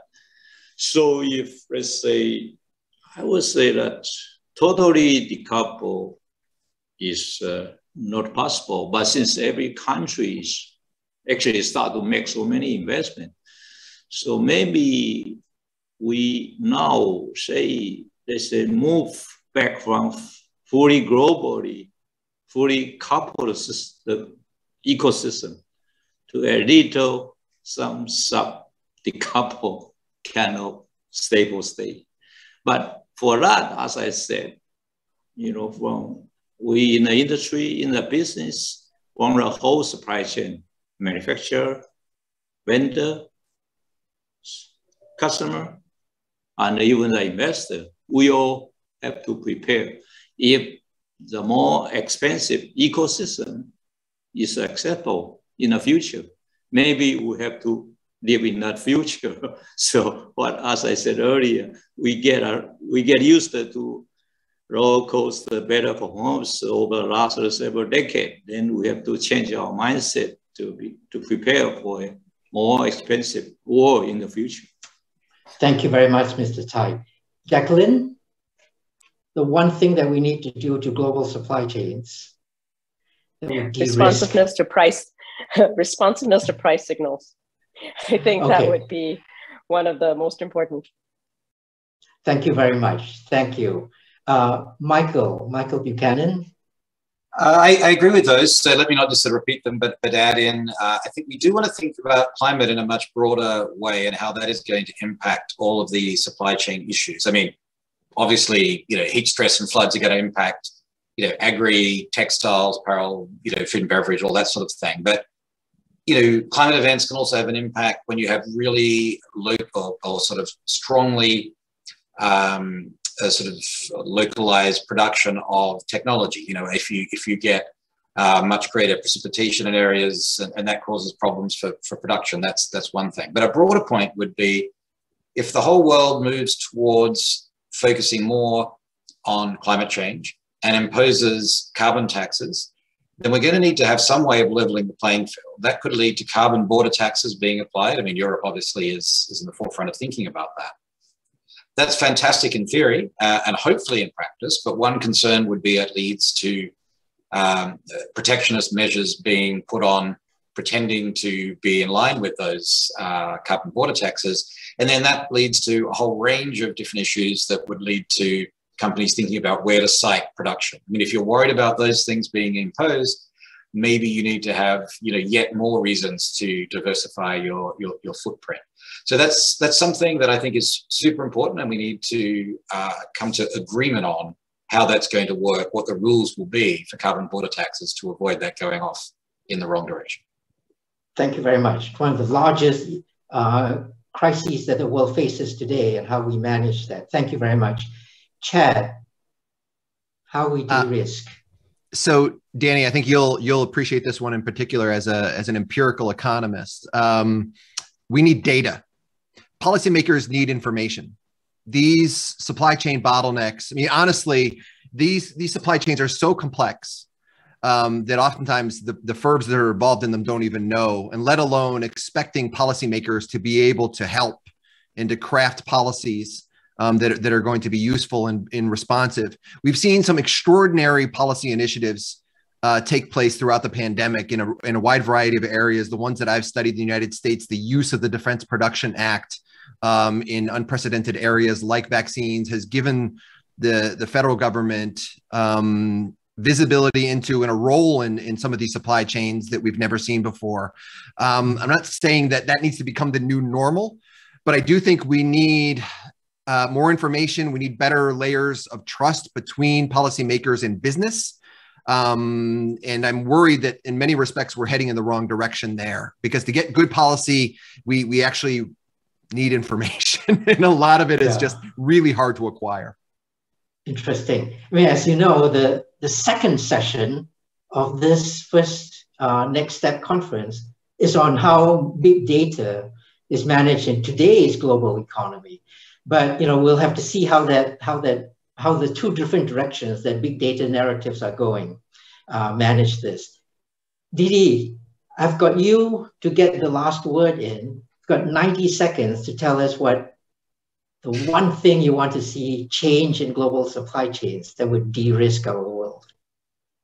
I believe in the market force because I do believe you mentioned about this transitional risk, but I do believe that the cost of being an autarky will outweigh of this transitional risk. So that is why let me come with a more optimistic view. Even though the cost is there, but I believe that every country will need to maintain the global supply chain.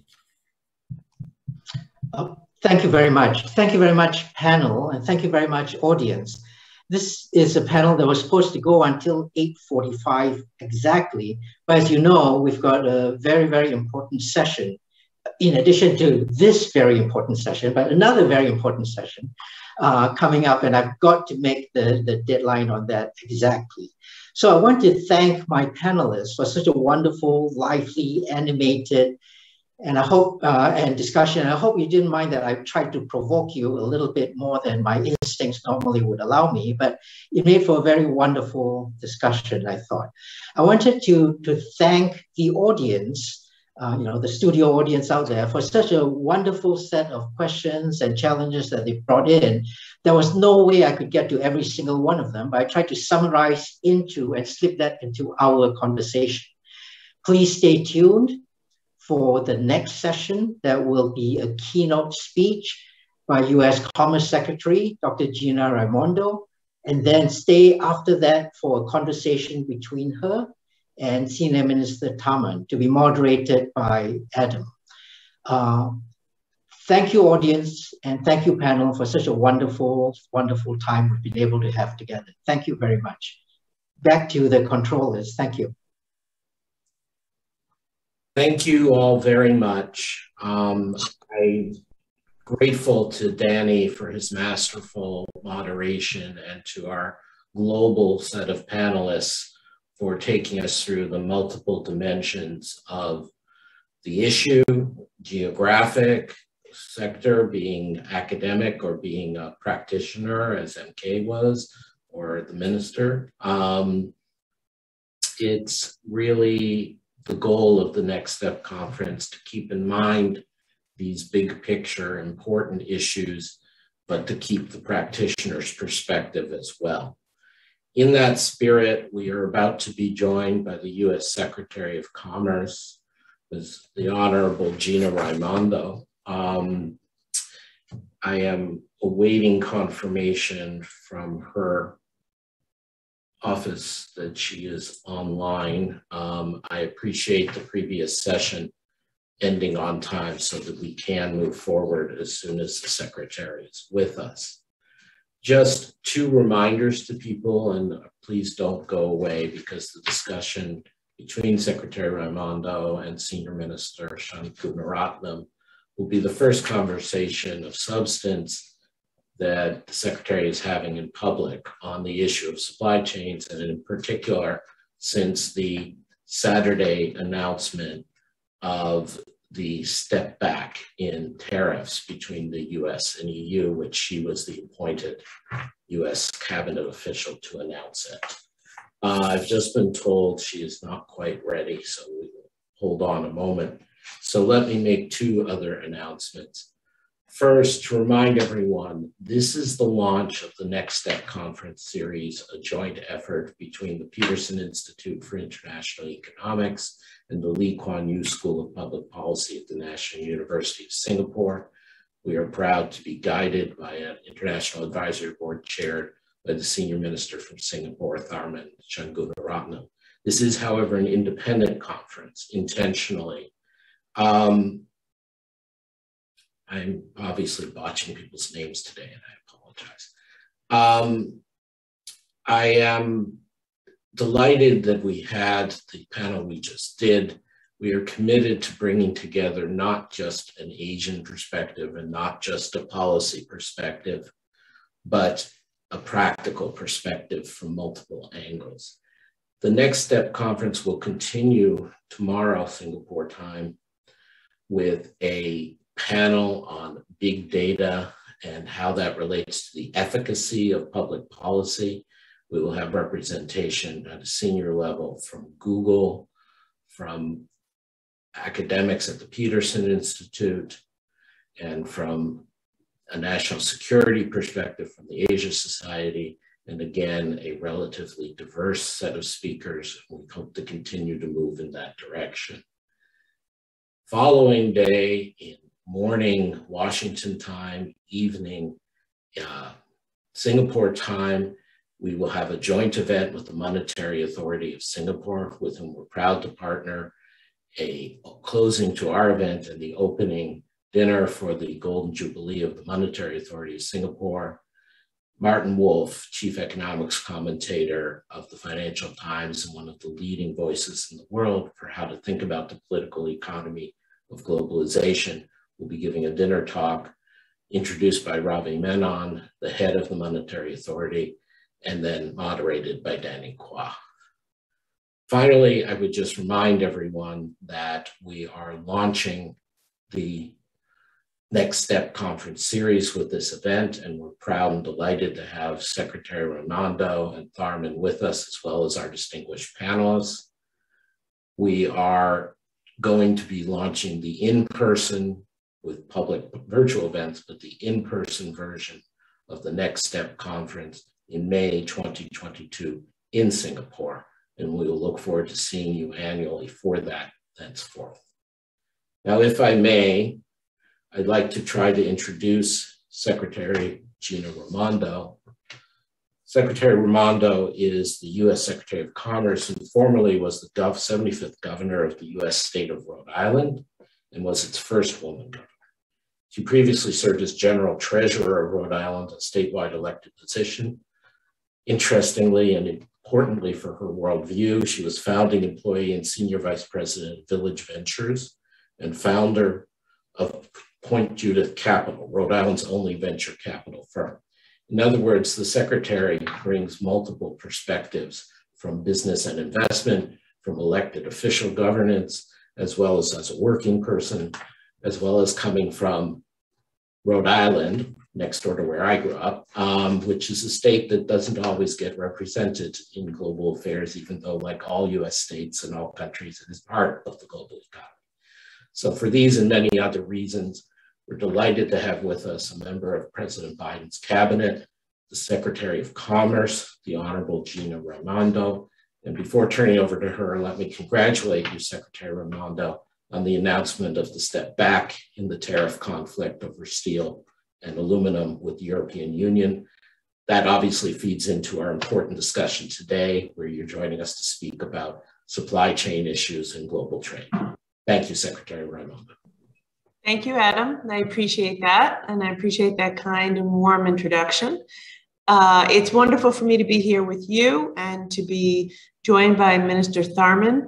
Thank you so much for joining us. And of course, all the distinguished guests. It's, you have a terrific panel and a terrific day lined up. Um, so as you all know, recently at the East Asia Summit, President Biden reaffirmed our commitment to the Indo-Pacific region, and he outlined his vision for the region, one that's open, connected, prosperous, resilient, and importantly, secure. He announced the development of an Indo Pacific economic framework that will define our shared objectives um, around standards for the digital economy and technology, supply chain resiliency, topic on the top of everyone's mind, decarbonization, infrastructure, and other areas of shared interest. Of course, I applaud the president for this, and the Commerce Department will be uh, kind of central to developing that economic framework and working with our partners in the region uh, to, to develop and execute on that. Um, we're already moving forward with a new US Singapore partnership for growth and innovation that will integrate our economies even further. And the US and Singapore have committed to a high level dialogue on supply chains. Uh, again, something I, I, am I am focused on this day in and day out. And so it's exciting to work with our partners in Singapore to, to try to find some solutions to our supply chain challenges and develop long-term resiliency. Um, I've been the co-chair of the President's Supply Chain Disruptions Task Force, and of course, hope to bring all of that work to my work here in the Indo-Pacific region. Uh, in the US, we're taking a dual approach of investing in domestic manufacturing as well as pursuing what we're calling friend shoring. Uh, so that like-minded partners like all of you are fully integrated into our supply chains. And that means looking for areas of greater collaboration, increased transparency, agreement on supply chain resiliency principles, sharing best practices, identifying diverse sources of supply, and coordinating investments in alternative supply chains. Um, and we hope to expand our partnerships across Asia to strengthen the commercial ties between our companies, which will improve business conditions and help us to combat climate change in, in America and in the region. Um, I will say I am uh, really looking forward to the engagement in the region and working with like-minded partners to get the job done. So uh, with that, I'll turn it back over to you. And again, just thank you so much for having me this morning. Thank you, Madam Secretary. Um, we're going to have an on-the-record discussion, which the Secretary and the Senior Minister have graciously agreed to give and to have two leaders of the global economy come together is a great opportunity for the next conference. Just let me say again that Tharman is the senior minister in Singapore, having served for several years as deputy prime, minister and finance minister. He's concurrently chairman of the Monetary Authority of Singapore and coordinating minister for social policies.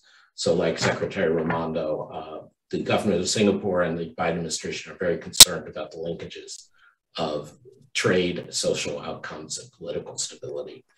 Um, Tharman also co-chairs the G20 high-level independent panel on financing pandemic security and chairs the group of 30, which is a leading independent global council of economic and financial leaders. Um, let me start um, just going just quickly to Tharman for a response to uh, the list of initiatives that Secretary Raimondo started with. Um, how does Singapore see the US moving forward in the region now? And how do you see this concept of friend shoring? I think, I think that's a new coinage. So uh, how does that strike you? And then we'll turn back to the Secretary. Uh, thanks, Adam, and I'm very happy to be here with Secretary Raimondo. Um, I would say the uh, underlying principle uh, uh, the underlying principle is that of diversification. And diversification comes out of uh, all the uncertainties that we face uh, globally. Um, COVID-19 has um, led to a step change in the way in which global corporations, as well as, you know, I'd say even medium-sized corporations, are thinking about supply chains uh, not just their own manufacturing supply chains, but also logistics uh, networks. And I don't think we're going back to where we were uh, two years ago.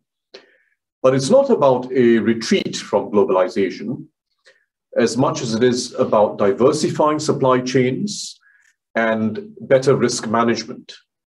Better risk management, including a whole set of practices, including inventories, uh, but also that ability to, to flex production from one site to another at short notice. And that's now becoming part and parcel of advanced management uh, for companies all over the world. Um, it offers, I think, a place in the world for ASEAN. It offers a place in the world for uh, most developing regions. Uh, and I think what we really want to do is to try and avoid this being a either or. In other words, either you're part of a US network or you know US catalyzed network of supply chains, or you're part of a uh, China or other network of supply chains. I think the world will be much worse off uh, if that were the case.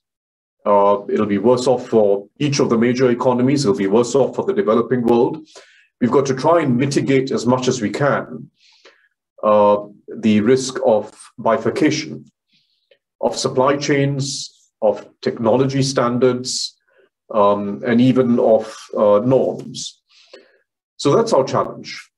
Uh, and we've got to all play our part in trying to ensure as much as possible that we are in an open and connected world, not just for goods and services, but increasingly for data, for data and digital services.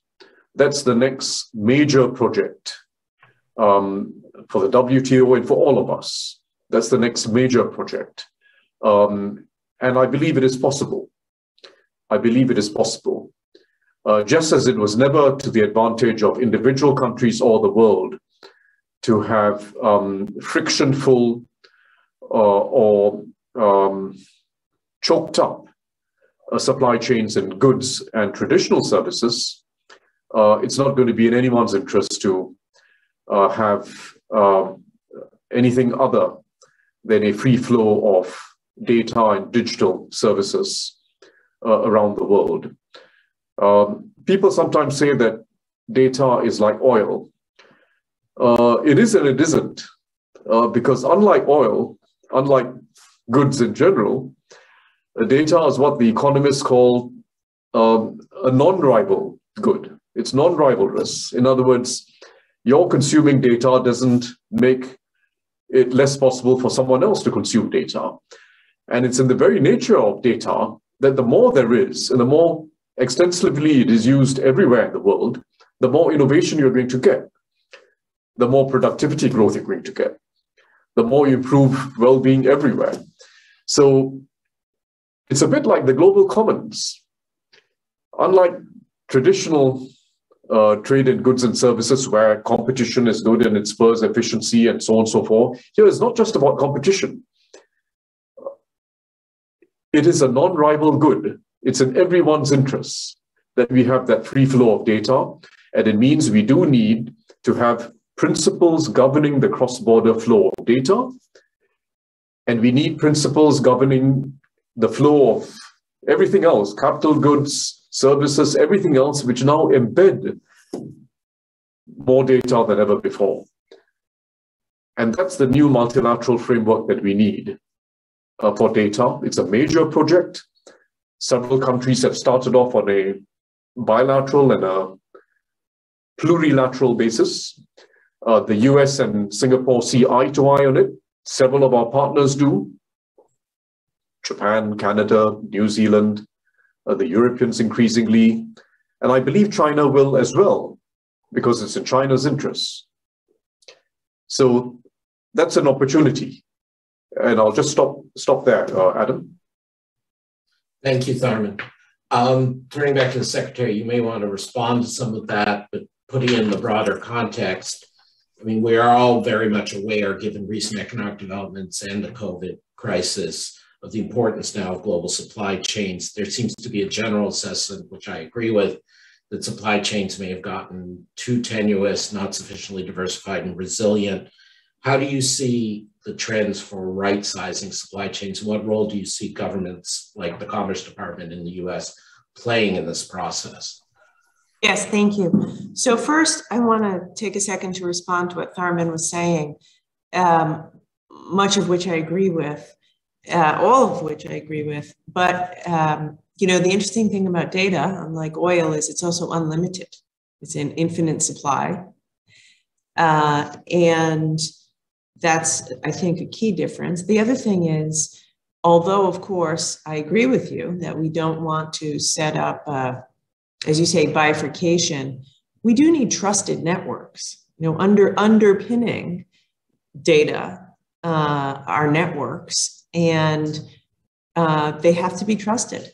You know, they have to be trusted networks, and and the standards which govern networks, the privacy protections, the cyber protocols.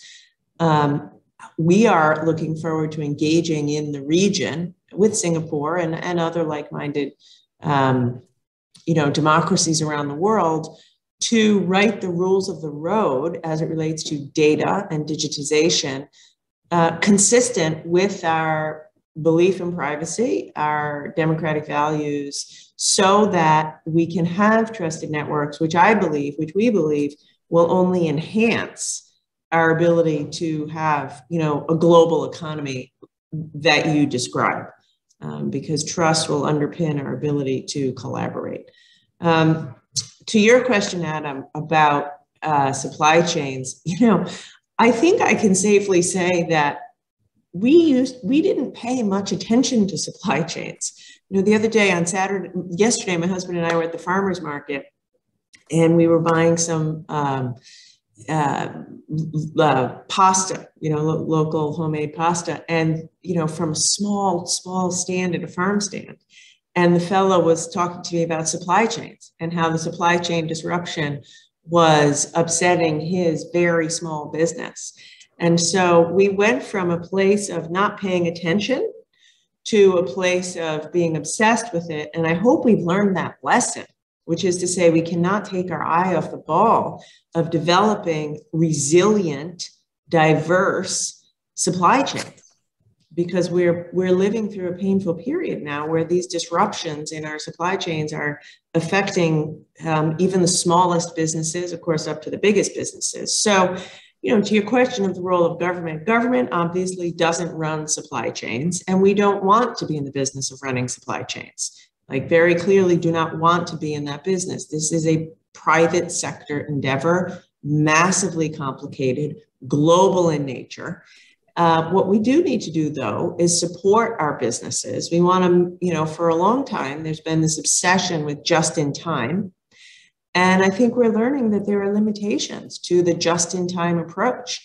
It doesn't take into account, you know, resiliency, as Tharman was saying, you know, just in case, right? We have to think about just in case, just in case we, we have a COVID-like event, climate event. So our role in government, I think, is to encourage the private sector to add more resiliency to supply chains, more suppliers, more transparency.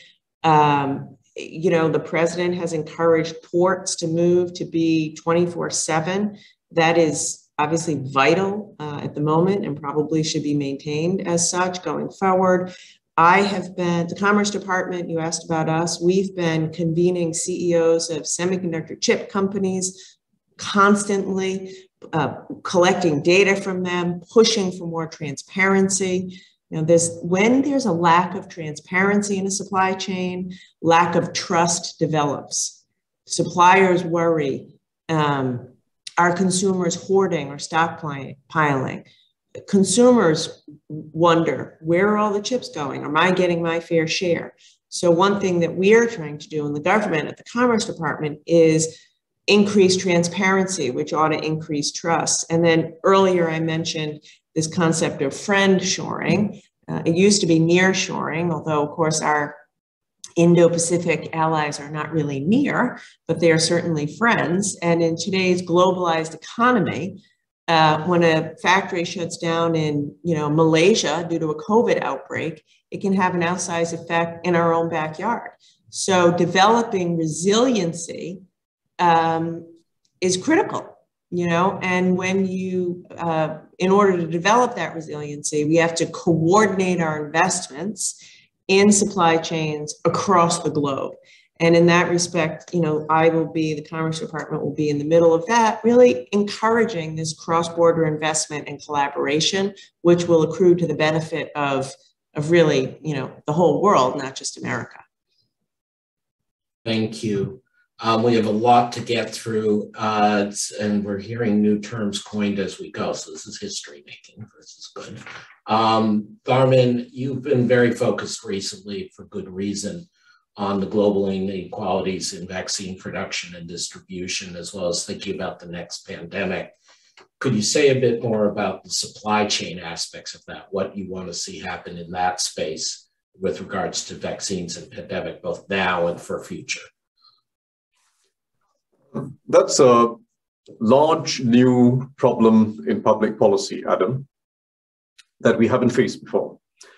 Um, put uh, squarely, it is a challenge of having substantial overcapacity in vaccine manufacturing ahead of a pandemic of uncertain timing and uncertain nature. And we've learned that we need that overcapacity ahead of a pandemic uh, from the experience of the last two years. Because what we know from the last two years is that responding to a pandemic in ways that avoid prolonging a pandemic and avoid uh, the staggering inequalities that we've seen is all about speed and scale. Uh, what we saw uh, at remarkable speed was the development of vaccines, development, testing, and uh, approval of vaccines. But two years on, uh, the bulk of the world's population uh, hasn't been vaccinated. And that, by its very uh, nature, has allowed for continuous mutation of the virus and is prolonging the, the pandemic. So, if we want to avoid that in future, we need to be able to move to respond much more swiftly and on a global scale once a pandemic strikes. And you can't do that unless you have at ready facilities, ever warm facilities, both manufacturing and delivery capacity, an end to end supply system. Uh, if you don't have that, it's going to take two years once again and at enormous cost for countries individually and collectively. Now, that's a new public policy challenge because the private sector does not have an incentive to invest in overcapacity ahead of a pandemic. Second, uh, the private sector will not know, uh, none of us knows exactly which pathogen is going to be the source of the pandemic, and does not know which vaccine candidate is going to be successful is going to go through phase three trials successfully and get approved. We don't know in advance. So you need to have multiple vaccine candidates and you need to have facilities that are able to produce different candidates and you need them to be globally distributed as well. So they're less, they're a little more resilient to some of the um, short-term supply chain problems or even protectionist actions in a major crisis. So it does require because you can't rely on the private sector. It doesn't have enough commercial incentive to do it ahead of time and to have it spread across candidates of uncertain success uh, uh, probabilities. You need a public private collaboration. Uh, the one thing that um, worked better in the US than elsewhere was precisely that system involving BARDA and several other public agencies uh, that, by the way, looked um, you know, it's not it's not the America that people uh, uh, think of very often, but it's actually a very active role for the state, coordinated with the private sector, and even with the U.S. Army involved, uh, that managed to actually get vaccine development and production out as quickly as possible. And what we need really is a global BARDA, or if you like, a network of BARDA like entities Europe has now started HERA. Uh, the, you've got the Af African Vaccine Alliance. You need a network that connects regional and large country capabilities into a coherent global system. Again, the market doesn't do this. We need a way of coordinating capacity ahead of time and fast response in an actual crisis. And it's not going to happen without a deep collaboration between the public and private sector internationally. And it can be achieved. It can be achieved. And that's exactly why we need the G20 task force um, coming in part out of the proposals of the high level independent panel that I co chaired with Larry Summers and, and Ngozi uh, to address this forthrightly. It requires global coordination it is complex in details, but not complex in principle. The principle is it's in every country and region's interest to collaborate in setting up this end to end supply ecosystem. It requires public sector money, but we should use that public sector money to incentivize and catalyze private investment. That's our challenge. We haven't faced this challenge before. I mean, perhaps we should, should have done it after Ebola. We didn't. Each time a pandemic hits, the political appetite for fundamental reform fades once it's once we're past the worst, and particularly once we're past the worst in the most advanced nations. We must not allow that to happen again. We must not allow pandemic memory to disappear from the system. We don't want to remember the horrendous human costs, but we need pandemic memory built into the system so it never happens again. Thank you, Tharman. Um, Secretary Raimondo, well, of course, again, you're welcome to comment on the vaccines. I, I want to go back with our limited time to the announcement you made on behalf of the Biden administration, which has been filled in a bit about the step back in the tariff conflict between the US and EU. I'm using the term step back because it's not a full resolution, it's not a full withdrawal of tariffs, but it was a change. Um, first, just can you say a bit more about what damages to various groups, producers, consumers in the US retaliated against industries led to you and the administration taking the step? And second, in light of your remarks a few minutes ago, about nearshoring isn't as good as friendshoring because our friends are not necessarily just who are adjacent. Um, there are a lot of allies, including Japan, Korea, that are not in the EU that were caught up in this tariff battle by the Trump administration. Can we hope that you'll be treating some of the other allies who are not the direct EU deal similarly? Yeah.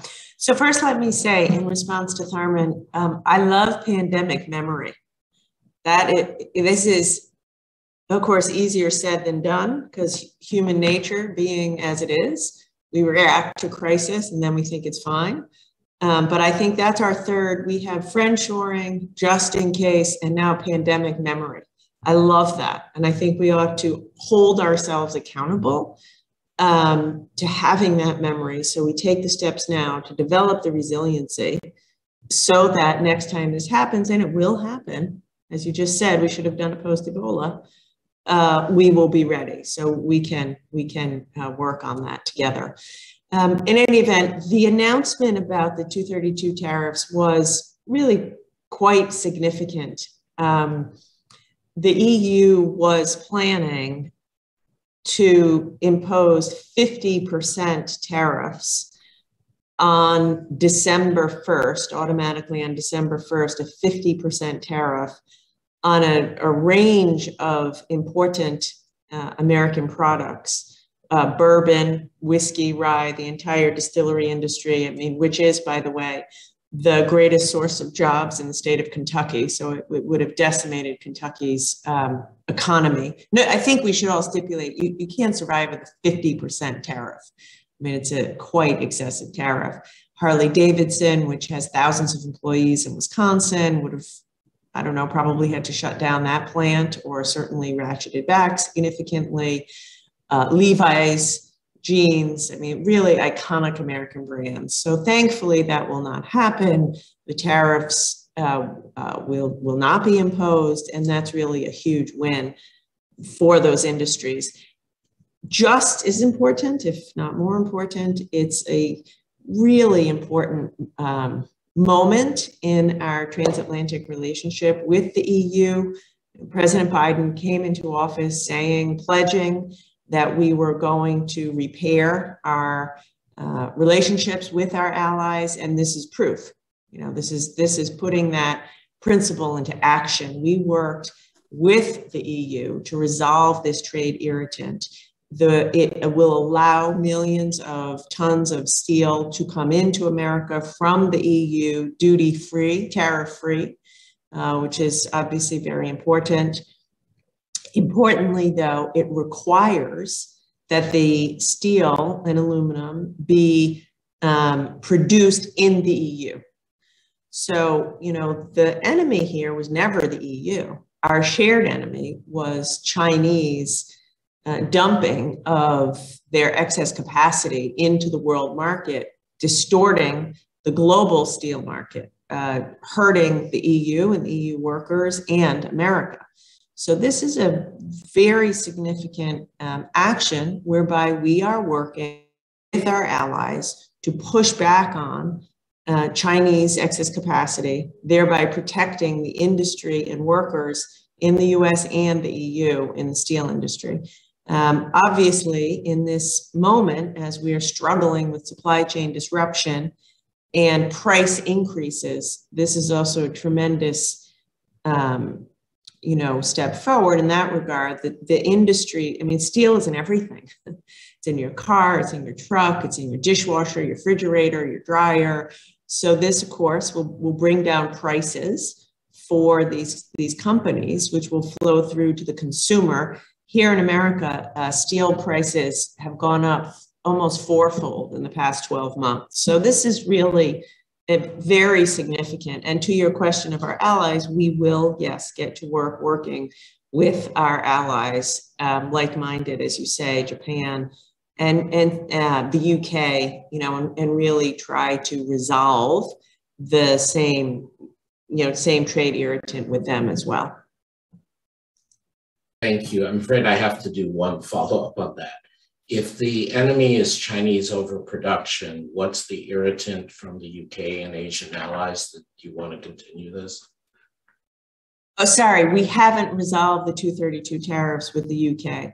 So, in other words, the deal that we struck with the EU is with the EU. No, I, I, I, sorry, I understand. I was just asking, since you said just a minute ago, the the purpose ultimately is to deal with Chinese overcapacity and supply. Why are you not just lifting similarly for other allies the way you're lifting for the EU? Yeah, I think we will get there. We just, ha- that's what I'm trying to say. We did this with the EU. Now we have to sit down with our other allies and come up with uh, negotiate, you know, negotiate. We have to do the work to sit down to negotiate to see if we can't can't also get rid of this irritant with those allies. Okay, thank you, Secretary. Um, Tharman, as one of those U.S. allies, Singapore is obviously not a steel exporter, um, so you don't have, or aluminum exporter, you don't have this issue of uh, directly of the 232s, but you are aware, obviously, of the Biden approach and the previous Trump approach on these matters. Speaking not for other US Asian allies, but as a US Asian ally, how do you see the Biden administration's partial continuation of this approach? Well, I think Singapore's perspective is uh, uh, predictable. Uh, as you say, we are not a steel or aluminum, aluminum producer, but uh, steel and aluminum go into lots of other things. Uh, and the world economy uh, is going to be a weaker economy we do not see a rollback of uh, all forms of uh, protection and discrimination. Um, and I think as we come out of COVID and as we address a extremely challenging period ahead, uh, we should try as much as we can because there's some problems which are really difficult to solve and difficult to solve quickly. We should try as much as we can to uh, roll back on the problems that are easier to solve. Um, and it requires, of course, not just international negotiations and uh, some give and take on both sides. It requires also the appropriate domestic strategies, which Secretary Raimondo also touched on briefly in her opening remarks. Um, that's what I think every responsible government has to do. Find ways of freeing up internationally, but double down on the right domestic social and economic strategies to preserve inclusiveness and ensure that you've got that broad base of good jobs that are being created not always the same jobs that existed before, but you're always catering to that broad base of the workforce uh, with good jobs. So, um, thank you, Tharman. Let me try to be a little bit provocative to both of you on this because I know you care deeply about this link between social cohesion or social justice, I shouldn't say or, and social justice with international commerce. Um, the speaking as an economist, not a policymaker, the record of creating so-called good jobs is, is not very good in the sense of governments being able to will them into being. And in fact, there's a lot of record of trying to create good jobs and ending up creating negative feedback loops, entitled groups, intra actual more rather than less conflict inside societies, regional differences being perpetuated. Again, it's very different for a small economy like Singapore geographically and a continent wide economy like the US, but both are multi ethnic um, democracies. And so there are a lot of commonalities as well. Um, we've been fortunate in the past at Peterson Institute to have Tharman speak about this. Um, Secretary Raimondo, maybe go to you first. Just what is your vision for how we, we've heard the phrase trade policy for the middle class uh, repeatedly from officials at your level in the Biden administration. What is your vision for how this should be integrated into both commerce and social justice? How, how do we think about this, particularly since the world, let's remember, is not all about manufacturing jobs. No matter how many manufacturing jobs we're going to create, it's not going to be everybody or even close to a majority in any society.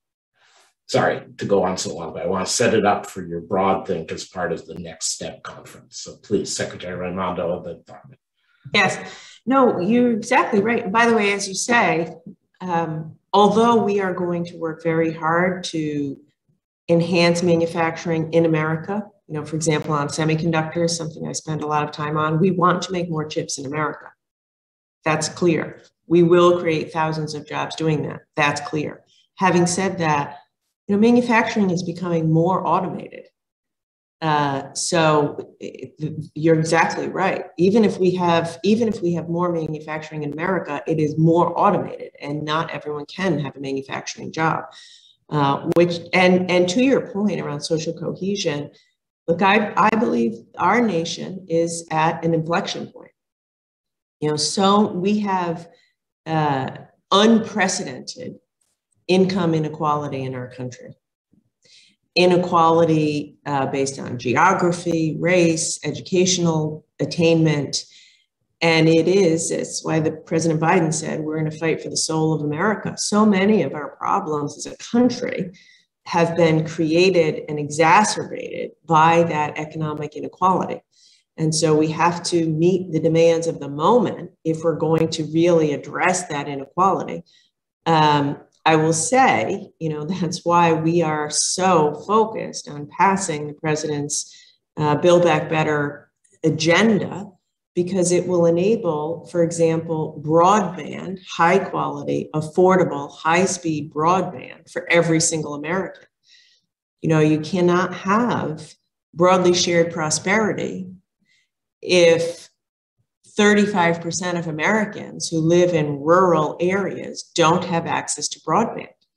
You, you can't, you can't do it. Uh, 50% of Americans who live on tribal lands don't have access to broadband. Um, workforce development. President's calling for big investments in apprenticeships.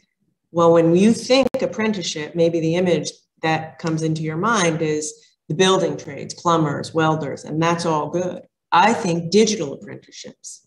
I think cybersecurity technicians. I think cyber tech apprenticeships in middle America for, you know, uh, black and brown kids in urban America who need access to these skills so they can get these jobs, so they can come into the workforce, stay in the workforce, and make a decent income. So there's no, you know, I could go on all morning and I promise I won't, but like the point is there's, we need, as Tharman said, domestic investments, building our infrastructure, investing in technology, investing in basic R&D, basic research and development. Over the last 30 years, if you were to, to draw a graph, you're an economist, Adam, if you were to graph, you know, R&D investments as a percent of American GDP, it would be a straight downward slope. We need to invest in R&D so that that turns into, uh, you know, more manufacturing, get the great ideas coming out of colleges and universities and turn them into products we make in America, all over America, middle America as well, and then have, you know, the, job training initiatives to make sure people get these jobs. So, in any event, I think there's no one thing. I think it is the challenge of our time. And I, President Biden has a very bold initial program, set of programs to make those investments so that we can, you know, create those jobs and have the prosperity be more equally shared in America. But last thing I'll say, you know, like women, 2 million women are still out of the workforce now post COVID. They will stay out of the workforce unless childcare becomes more affordable. Why can every other industrialized nation in the world provide public pre K and childcare and we can't? It, if we don't make those investments, we will not tap into women's economic potential and it will continue to erode this social cohesion that you talk about. So there's no one thing, but I think it is the most important thing that we'll work on as an administration. Thank you very much, Secretary Raimondo. I, I cannot resist on your last comment, just throwing my full weight, such as it is, behind it. Um, the success of Abenomics, Womenomics in Japan to turn around female labor force participation shows it can be done. Um, and that pre-K, nursery school, uh, per, leave for flexible work policies for women and support for women getting equal pay, but necessary support for their role in the family, I think is critical. And I'm, of all the things you've mentioned, I am proud that the, that the Biden administration is taking that on. Um, Tharman, forgive me for editorializing, but as you know, I've, we, we at Peterson have been working on that issue for a long time. Um, so to wrap us up, uh, maybe you could say a few words also about how you see trade and inclusion coming together. Well, very much in the same spirit as uh, Secretary Raimondo. Uh, and you know, reflecting on that earlier remark you made, Adam, about how well, look, this hasn't worked very well uh, in the past. Um, the state getting involved in industry. The two things that didn't work well uh, in the past were first uh, the state trying to pick winners in private industry, individual firms, um, sometimes even individual uh, clusters or industries, hasn't had a great record. Um, second, uh, subsidized state enterprise. Uh, that hasn't worked well uh, anywhere in the world. Um, and we used to associate that as a problem to do with the socialist economies. Um, but it's, uh, it's a problem that's lived on uh, well beyond socialism in a whole range of other economies. And I should just add as a uh, uh, important aside for those of us who are economists that two weeks ago we saw the passing of uh, Janos uh, Kornai, um, uh, who was a uh, perhaps more than anyone else, uh, the person who exposed the systematic or systemic weaknesses of the socialist economies. Um, and the, the fact that soft budget constraints were not just accidental, not just political, they were systematic. Uh, but Kornai's soft budget constraints uh, exist in a whole range of other economies, even after the falling of the Berlin Wall. Uh, and we should be well aware of that. So that's the old industrial policy weaknesses that we know of, the old dirigism. Um, but what uh, Secretary Raimondo was talking about, and what I believe we need to address now with the renewed energy, is the development of collective capacity not picking individual winners, not trying to have subsidized state enterprises uh, creating a new infant industry. It's really about developing collective capacity. And that means everything from a strong preschool sector to provide opportunities for social mobility, or at least not stunt social mobility early in life. It means a high quality public school sector it means broadband, Secretary Raimondo was emphasizing, broadband across uh, the full span of the population. Um, and it's not just a huge problem in the developing world, it's also a problem in uh, the most advanced countries. You have large parts of major cities um, in the advanced countries, including the United States, uh, where the majority of the population does not have broadband. Uh, it means on a global scale, girls' education, uh, which is a a huge collective capacity issue, quite apart from being uh, imposing severe inequality. gender inequality in those societies. It's a huge issue of collective capacity as well. Um, and I would like to highlight one issue which economists are familiar with, but doesn't translate enough into public policy. And that is that we do have to address what is now a very stubborn problem of low productivity growth across the advanced world and slowing productivity growth in the emerging world.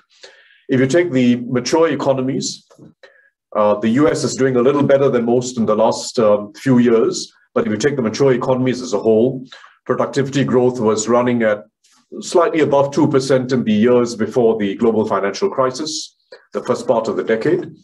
Uh, it was running at about 1% after the global financial crisis for about a whole decade. And it's now still stuck there. In fact, even in 2020, um, which saw things come down and then go up, you're still running at about 1%. Uh, and what's important is that we have reduced diffusion, reduced spread of innovation and productivity improvements from the frontiers to the rest of the economy. Because that's always been the, the big game in productivity growth. It's really the spread of innovations and breakthroughs from a leader in a leading sector, all those at the frontier, to the rest of the economy. That, that's what uplifts the system as a whole, and that, that's what leads to wages rising across the board.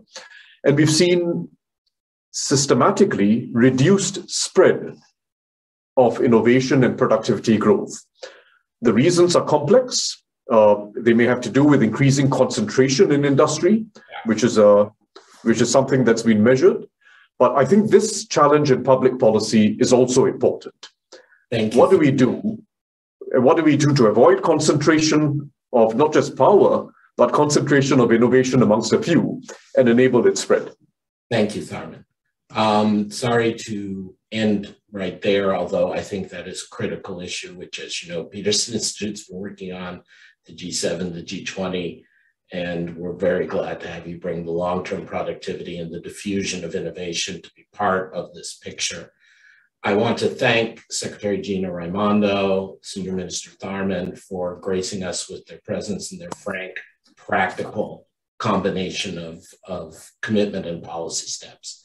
Uh, the next step conference of Peterson Institute and LKY School could not have gotten off to a better start. I will just say that the second session of our inaugural conference will take place at 8 p.m. Eastern Time today, uh, 8 a.m. Uh, Tuesday in Singapore on economic policy and policy making in a big data, big tech global economy, including Marcus Brunnermeier, Chong-En Bai, Karan Bhatia, Martin Chorzempa, and Alina Noor. But for this morning, with thanks to all our panelists, and particularly Secretary Raimondo and, and Tharman, this meeting is adjourned.